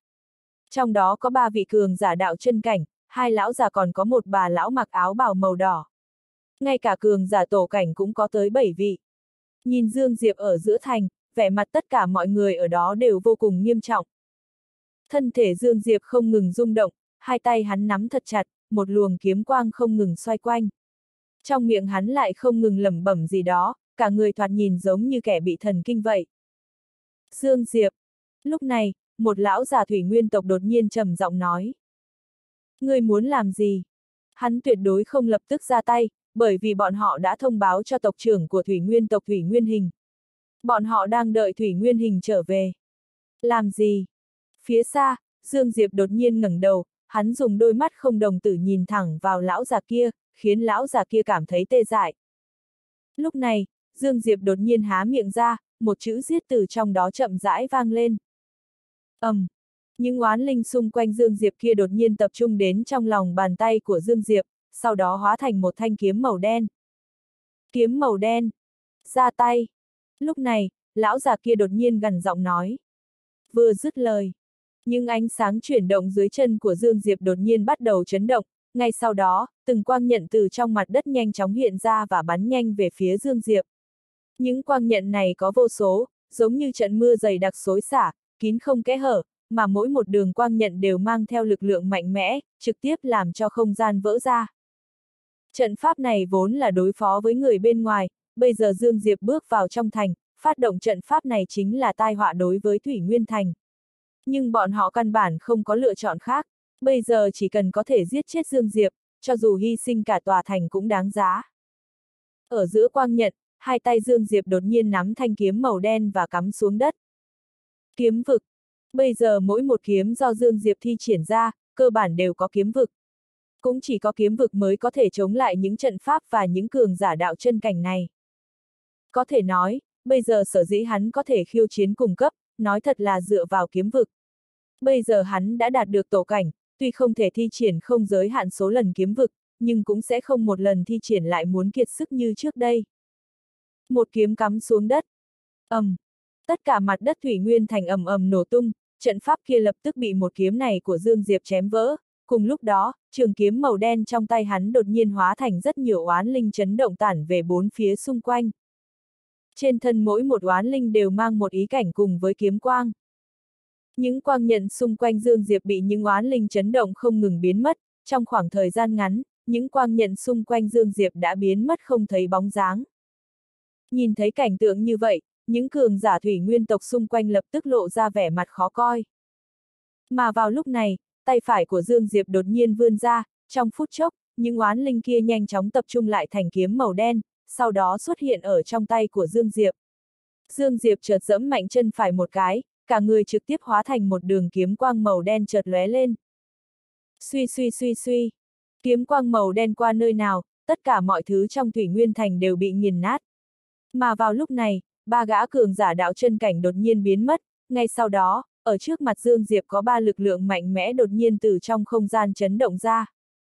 ầm, um, Dương Diệp lập tức bị ba luồng lực lượng chấn động đến ngoài mấy ngàn trượng, hắn vừa dừng lại, không gian ở trước mặt hắn đột nhiên vỡ ra, ngay sau đó, một bàn tay giả nua đột nhiên thò ra và rung nhẹ, một lực lượng vô hình giống như núi lửa bạo phát chợt nổ mạnh ở trước mặt Dương Diệp. Lúc này, một ý cảnh mạnh mẽ đột nhiên từ trong cơ thể Dương Diệp cuốn ra ngoài. Ý cảnh điên đạo chân cảnh. Ý cảnh này cứng rắn ngăn cản lực lượng cường đại của lão già này, nhưng một cái ô màu đỏ đột nhiên xuất hiện ở trên đỉnh đầu của Dương Diệp. Trong phút chốc, cái ô màu đỏ này nhanh chóng xoay tròn, từng cái kim nhỏ như sợi tóc từ trong ô rơi xuống. Không chỉ có vậy, một đường ánh sáng đỏ trực tiếp bao phủ lấy Dương Diệp, bị ánh sáng đỏ này bao phủ, da trên người Dương Diệp bắt đầu thối giữa với tốc độ mắt thường có thể thấy được. Dương Diệp ngẩng đầu nhìn về phía cái ô này, lúc này, những cái kim đã cách hắn quá gần. Đột nhiên, Dương Diệp giơ tay lên chém một kiếm. Một kiếm ra, một đường kiếm quang trực tiếp bỏ qua những cái kim kia và chém vào trên cái ô màu đỏ. Suy! Cái ô lập tức bị cắt thành hai nửa, mà trong chớp mắt một bóng người chợt lóe lên, thoáng cái, một tay trực tiếp đánh vào phía sau lưng của Dương Diệp. Àm! Um, cả người Dương Diệp lập tức bay ra ngoài, luồng ý cảnh điên trước mặt hắn lập tức bị ba luồng lực lượng hợp lại đánh nát, thoáng cái, ba luồng lực lượng giống như núi cao vạn trượng đổ xuống, áp lực mạnh mẽ trực tiếp làm cho không gian xung quanh Dương Diệp bắt đầu vặn vẹo nghiêm trọng. Mà áp lực ngập trời này còn ép cho tim của Dương Diệp cũng ngừng đập, ba gã cường giả đạo chân cảnh liên thủ. Ba gã cường giả đạo chân cảnh của Thủy Nguyên tộc biết rất rõ ràng, không thể một mình chống lại Dương Diệp, bởi vì một vị cường giả đạo chân cảnh đã không làm gì được Dương Diệp bây giờ, không chỉ không làm gì được, thậm chí có thể sẽ bị hắn giết ngược. Chỉ có ba người liên thủ mới có thể áp chế được Dương Diệp. Ba người liên thủ, quả thật đè lại Dương Diệp. Phía xa, Dương Diệp không để ý tới vết thương trên người, hắn bước về phía trước một bước, thoáng cái, cơ thể trực tiếp trở nên mờ ảo.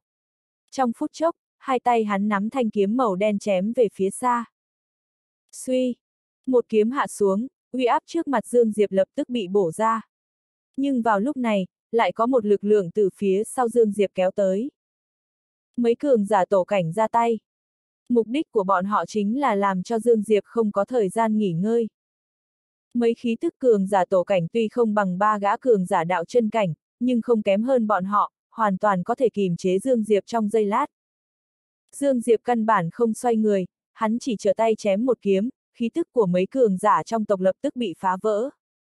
Mà lúc này, ba gã cường giả đạo chân cảnh thủy nguyên tộc đang muốn ra tay, nhưng Dương Diệp đã xoay người biến mất ở phía xa, ba gã cường giả đạo chân cảnh này hơi ngẩn người. Dương Diệp chạy trốn sao? Nhưng trong phút chốc, sắc mặt ba người đại biến, đuổi theo Dương Diệp giống như phát điên. Dương Diệp tuyệt đối không trốn.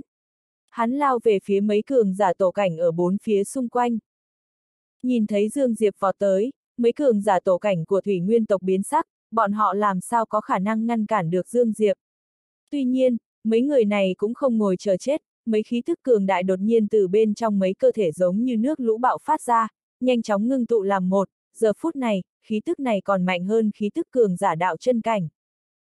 Mà ở trước mặt kiếm vực cùng ý cảnh điên của Dương Diệp và rất nhiều oán linh, vẫn không chịu nổi một đòn như vậy. Một kiếm. Một kiếm của Dương Diệp trực tiếp chém nát khí tức cường đại này, thoáng cái, một đường kiếm quang chợt lóe lên. Suy. Đầu của một cường giả tổ cảnh trực tiếp bay ra ngoài. Giết chết trong nháy mắt. Tên cường giả tổ cảnh kia căn bản không có sức đánh trả đã trực tiếp bị một kiếm giết chết trong nháy mắt. Nhìn thấy cảnh tượng như vậy, mấy cường giả tổ cảnh còn lại biến sắc, mà lúc này, một giọng nói đột nhiên vang lên ở trong không trung. Từ đạo chân trở xuống lập tức lui lại, ngay lập tức. Nghe được tiếng này, những cường giả tổ cảnh lập tức xoay người biến mất ở trong thành. Giờ phút này, Thủy Nguyên tộc biết rất rõ ràng, ngoại trừ cường giả đạo chân cảnh, huyền giả khác đi đối phó với Dương Diệp chính là tự tìm chết. Ba gã cường giả đạo chân cảnh này đuổi theo Dương Diệp giống như phát điên. Nhưng Dương Diệp lại tuyệt đối không buông tay, trực tiếp hóa thành một đường kiếm quang màu đen đuổi theo về phía trong thành. Phía sau Dương Diệp là ba gã này cường giả đạo chân cảnh. Rất nhanh, tất cả Thủy Nguyên Thành vang lên tiếng kêu rên ở khắp nơi. Bởi vì Dương Diệp qua nơi nào, ở đó căn bản là thây phơi khắp nơi, rất nhiều máu tươi giống như sông chảy về phía Dương Diệp, sau lưng Dương Diệp không chỉ có máu chảy thành sông, còn có vô số oán linh. Những oán linh điên cuồng cắn nuốt oán khí trong những thi thể này, dần dần, những oán linh cũng càng lúc càng lớn mạnh. Tất cả Thủy Nguyên Thành lập tức trở thành địa ngục tu la. Cứ như vậy, rằng co gần nửa khắc, đột nhiên Dương Diệp ngừng lại, ở trong tay trái của hắn cầm một cái đầu đầm điểm máu. Dương Diệp ngẩng đầu nhìn về phía chân trời, một uy áp cường đại khiến người khiến người ta hít thở không thông đang ép về phía bên này. Tộc trưởng của Thủy Nguyên tộc. Nhìn thấy cảnh tượng như vậy, cường giả Thủy Nguyên tộc lập tức thở phào nhẹ nhõm. Mà vào lúc này, Dương Diệp đột nhiên xuất hiện ở bên ngoài Thủy Nguyên Thành. Chạy đi đâu? Một tiếng hét phẫn nộ vang lên ở phía chân trời kia, thoáng cái, một bàn tay khổng lồ đột nhiên vỗ mạnh về phía Dương Diệp. Dương Diệp giơ kiếm chém một phát.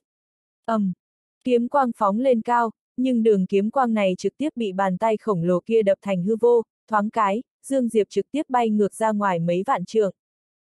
Bên ngoài mấy vạn trượng, Dương Diệp rơi xuống một rừng rậm, trên mặt đất, toàn thân Dương Diệp đầy vết nứt, máu tươi tràn ra giống như nước suối. Kinh mạch vỡ. Lúc này, một nữ tử váy trắng xuất hiện ở bên cạnh của Dương Diệp, hai tay chắp ở sau lưng, nhìn Dương Diệp trước mắt đã ngất đi, sắc mặt nàng không hề thay đổi. Lúc này, Dương Diệp nằm trên mặt đất không nhúc nhích, giống như đã chết vậy. Ở quanh người hắn có một ý cảnh bao phủ, xung quanh ý cảnh này là từng gương mặt oán linh dữ tợn. Nữ tử váy trắng nhìn Dương Diệp, trong mắt hoàn toàn không che giấu sát ý. Nữ tử váy trắng này chính là Bạch Chỉ TIAN.CR Bạch Đế Thành. Thật ra, trước đây nàng vẫn chưa thật sự rời đi, phải nói là đi xong lại quay về.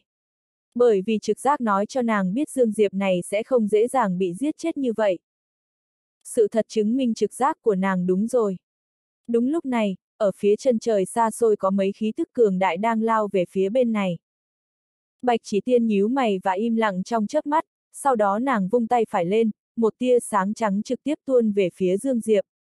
Tuy nhiên, những oán linh cùng ý cảnh điên của Dương Diệp tuyệt đối không để cho đường ánh sáng trắng này tới gần Dương Diệp, vẻ mặt bạch chỉ tiên chợt trở nên lạnh lùng. Muốn hắn chết sao? Một hơi thở sau, những oán linh cùng ý cảnh điên đều quay trở về trong cơ thể của Dương Diệp. Bọn họ có linh trí của mình, cũng vì vậy nên bọn họ mới có thể bảo vệ Dương Diệp, bởi vì sở dĩ bọn họ mạnh mẽ, sở dĩ tồn tại là bởi vì Dương Diệp. Nếu như Dương Diệp chết, như vậy bọn họ cũng sẽ biến mất theo. Đặc biệt là ý cảnh điên này. Dương Diệp sáng tạo ra nó, nếu như Dương Diệp không còn, nó cũng sẽ không còn. Những oán linh kia lại càng không cần phải nói tới. Bây giờ Dương Diệp là ký chủ tốt nhất của bọn họ. Không có oán linh cùng ý cảnh điên ngăn cản, ánh sáng trắng kia trực tiếp bao phủ lấy Dương Diệp. Lúc này, Bạch Chỉ Thiên đột nhiên lấy ra một bùa chú màu vàng, ánh mắt có phần tiếc nuối. Nhưng mấy khí tức phía chân trời này đã càng lúc càng gần. Bạch Chỉ Thiên lạnh lùng liếc nhìn Dương Diệp nằm trên mặt đất, sau đó bóp nát bùa chú màu vàng. Suy! Một đường ánh sáng màu vàng chợt lóe lên ở nơi đây, Bạch Chỉ thiên cùng Dương Diệp đồng thời biến mất. Lặng lẽ biến mất. Mà sau khi hai người biến mất một hơi thở, bốn khí thức đột nhiên xuất hiện ở xung quanh, rất nhanh đã có một nam tử trung niên mặc áo bảo gấm màu đen xuất hiện ở chỗ vị trí của Dương Diệp lúc trước. Người này chính là tộc trưởng Thủy Nguyên tộc hiện nay Thủy Nguyên Hình. Theo Thủy Nguyên Hình hạ xuống đất, ba người khác cũng xuất hiện ở xung quanh. Ba người này chính là ba gã cường giả đạo chân cảnh của Thủy Nguyên tộc đã bao vây tấn công Dương Diệp trước đó. Nhìn thấy ở đó trống rỗng, vẻ mặt bốn người đều cực kỳ khó coi. Có người nhanh chân đến trước rồi. Một lão giả áo bào đen trầm giọng nói. Thủy Nguyên Hình nhìn lướt qua xung quanh, ánh mắt xuyên qua gần trăm vạn dặm, nhưng cũng không phát hiện được gì. Vẻ mặt Thủy Nguyên Hình dần dần trở nên thâm trầm. Người này không chết, ngày sau sợ là thủy nguyên tộc ta có phiền toái lớn. Lúc này, lão già áo bào đen kia lại nói. Người này tuy là tổ cảnh, nhưng chiến lực của hắn đã vượt qua cường giả đạo chân cảnh bình thường. Nếu không có ba cường giả đạo chân cảnh liên thủ, căn bản không làm gì được hắn. Nếu như mặc cho hắn tiếp tục trưởng thành tiếp sẽ rất đáng sợ. Ở đó, ngoại trừ thủy nguyên hình, trong mắt ba người còn lại đều lo lắng buồn phiền vô cùng nghiêm trọng. Ba người bọn họ giao đấu cùng Dương Diệp lâu như vậy, thiên phú cùng lực chiến đấu của Dương Diệp thật sự quá đáng sợ. Càng đáng sợ hơn là bây giờ hắn mới chỉ là tổ cảnh, nếu như hắn đạt được đạo chân cảnh, khi đó sợ rằng vị tộc trưởng trước mặt này cũng không làm gì được hắn. Thủy Nguyên Hình từ từ nhắm hai mắt lại. Thất sách. Thật ra, ngay từ lúc đầu Thủy Nguyên tộc đã biết Dương Diệp không tầm thường, bởi vậy khi đối mặt với Dương Diệp, có thể nói là thủy nguyên tộc đã sử dụng toàn lực, tuyệt đối không cho Dương Diệp có bất cứ cơ hội nào. Mấy cường giả đạo chân cảnh cộng thêm trận pháp bao vây tấn công một tổ cảnh, chuyện này cơ bản chưa từng xuất hiện ở vĩnh hằng vũ trụ.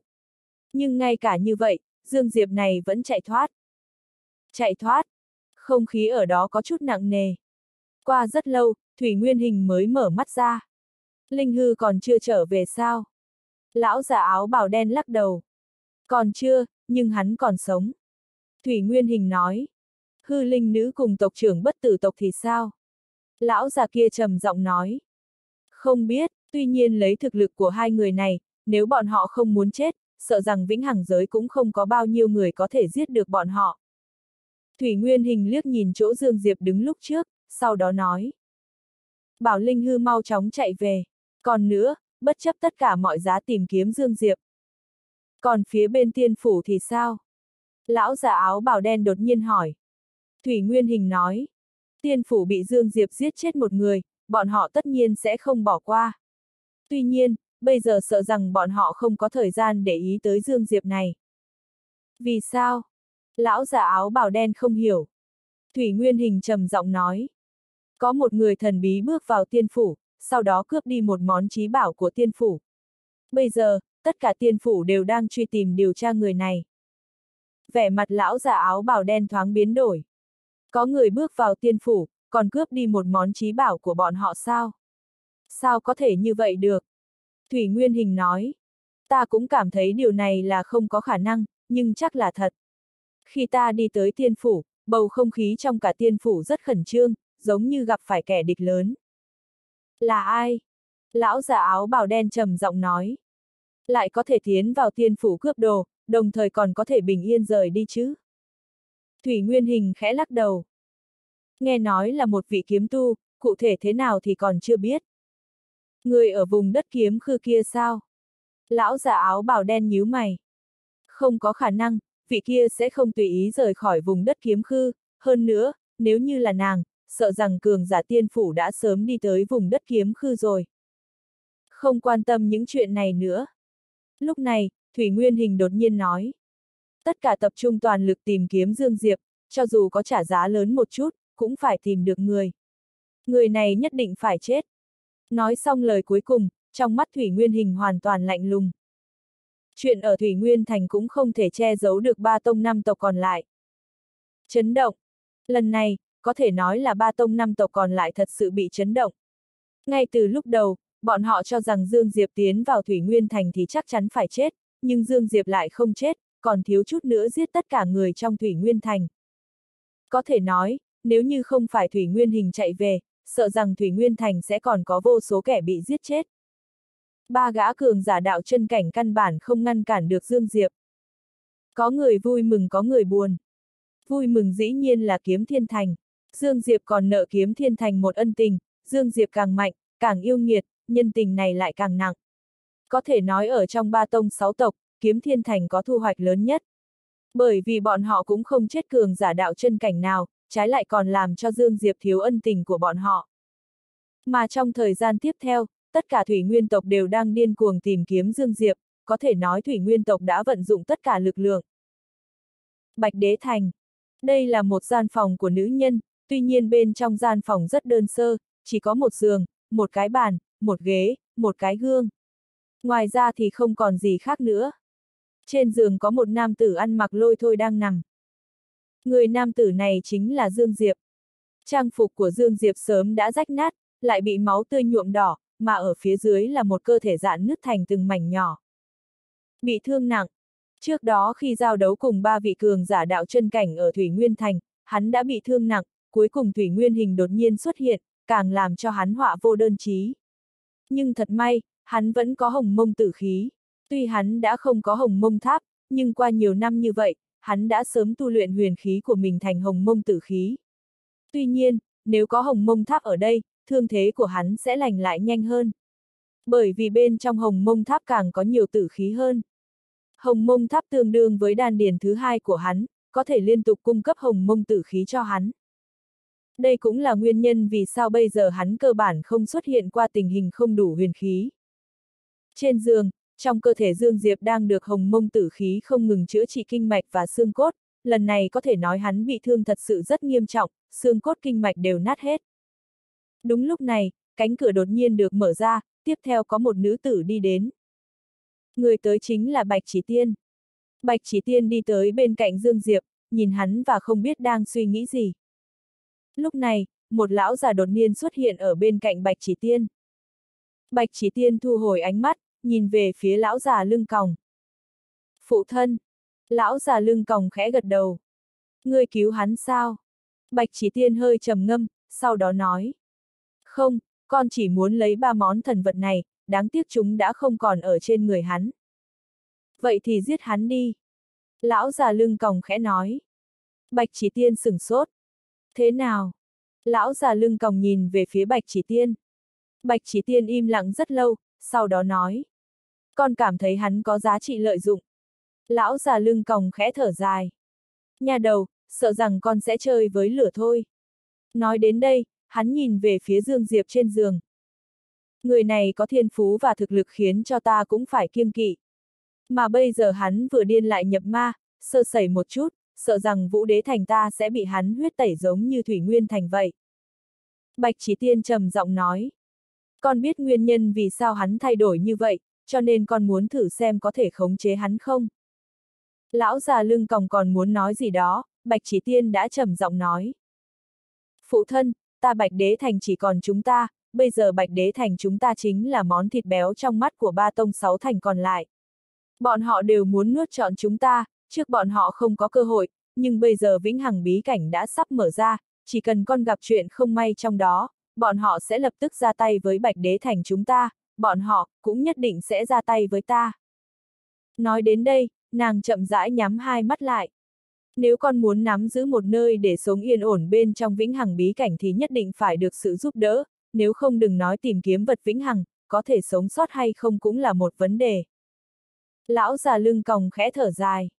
Ta muốn con từ bỏ vĩnh hằng bí cảnh lần này. Bạch chỉ tiên khẽ lắc đầu. Sao có thể từ bỏ được, đây là cơ hội còn lại không nhiều của bạch đế thành chúng ta.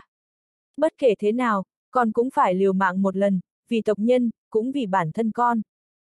Lão già lưng còng im lặng rất lâu, sau đó nói. Con cứ quyết định đi. Nói xong, hắn xoay người đi ra ngoài. Bên trong gian phòng chỉ còn Dương Diệp cùng Bạch Chỉ Tiên. Đúng lúc này, Dương Diệp trên giường đột nhiên mở mắt, trong phút chốc, đã trực tiếp xuất hiện ở trước mặt Bạch Chỉ Tiên, thoáng cái, một thanh kiếm trực tiếp chém về phía Bạch Chỉ Tiên. Bạch Chỉ Tiên không tránh không né, chỉ nhìn thẳng vào Dương Diệp. An Nam tĩnh, kiếm trong tay Dương Diệp đột nhiên ngừng lại. Nhìn Bạch Chỉ Tiên trước mặt, trong viền mắt Dương Diệp có hai hàng máu đột nhiên chậm rãi tràn ra. Audio điện tử võ tấn bền. Hết tập 159.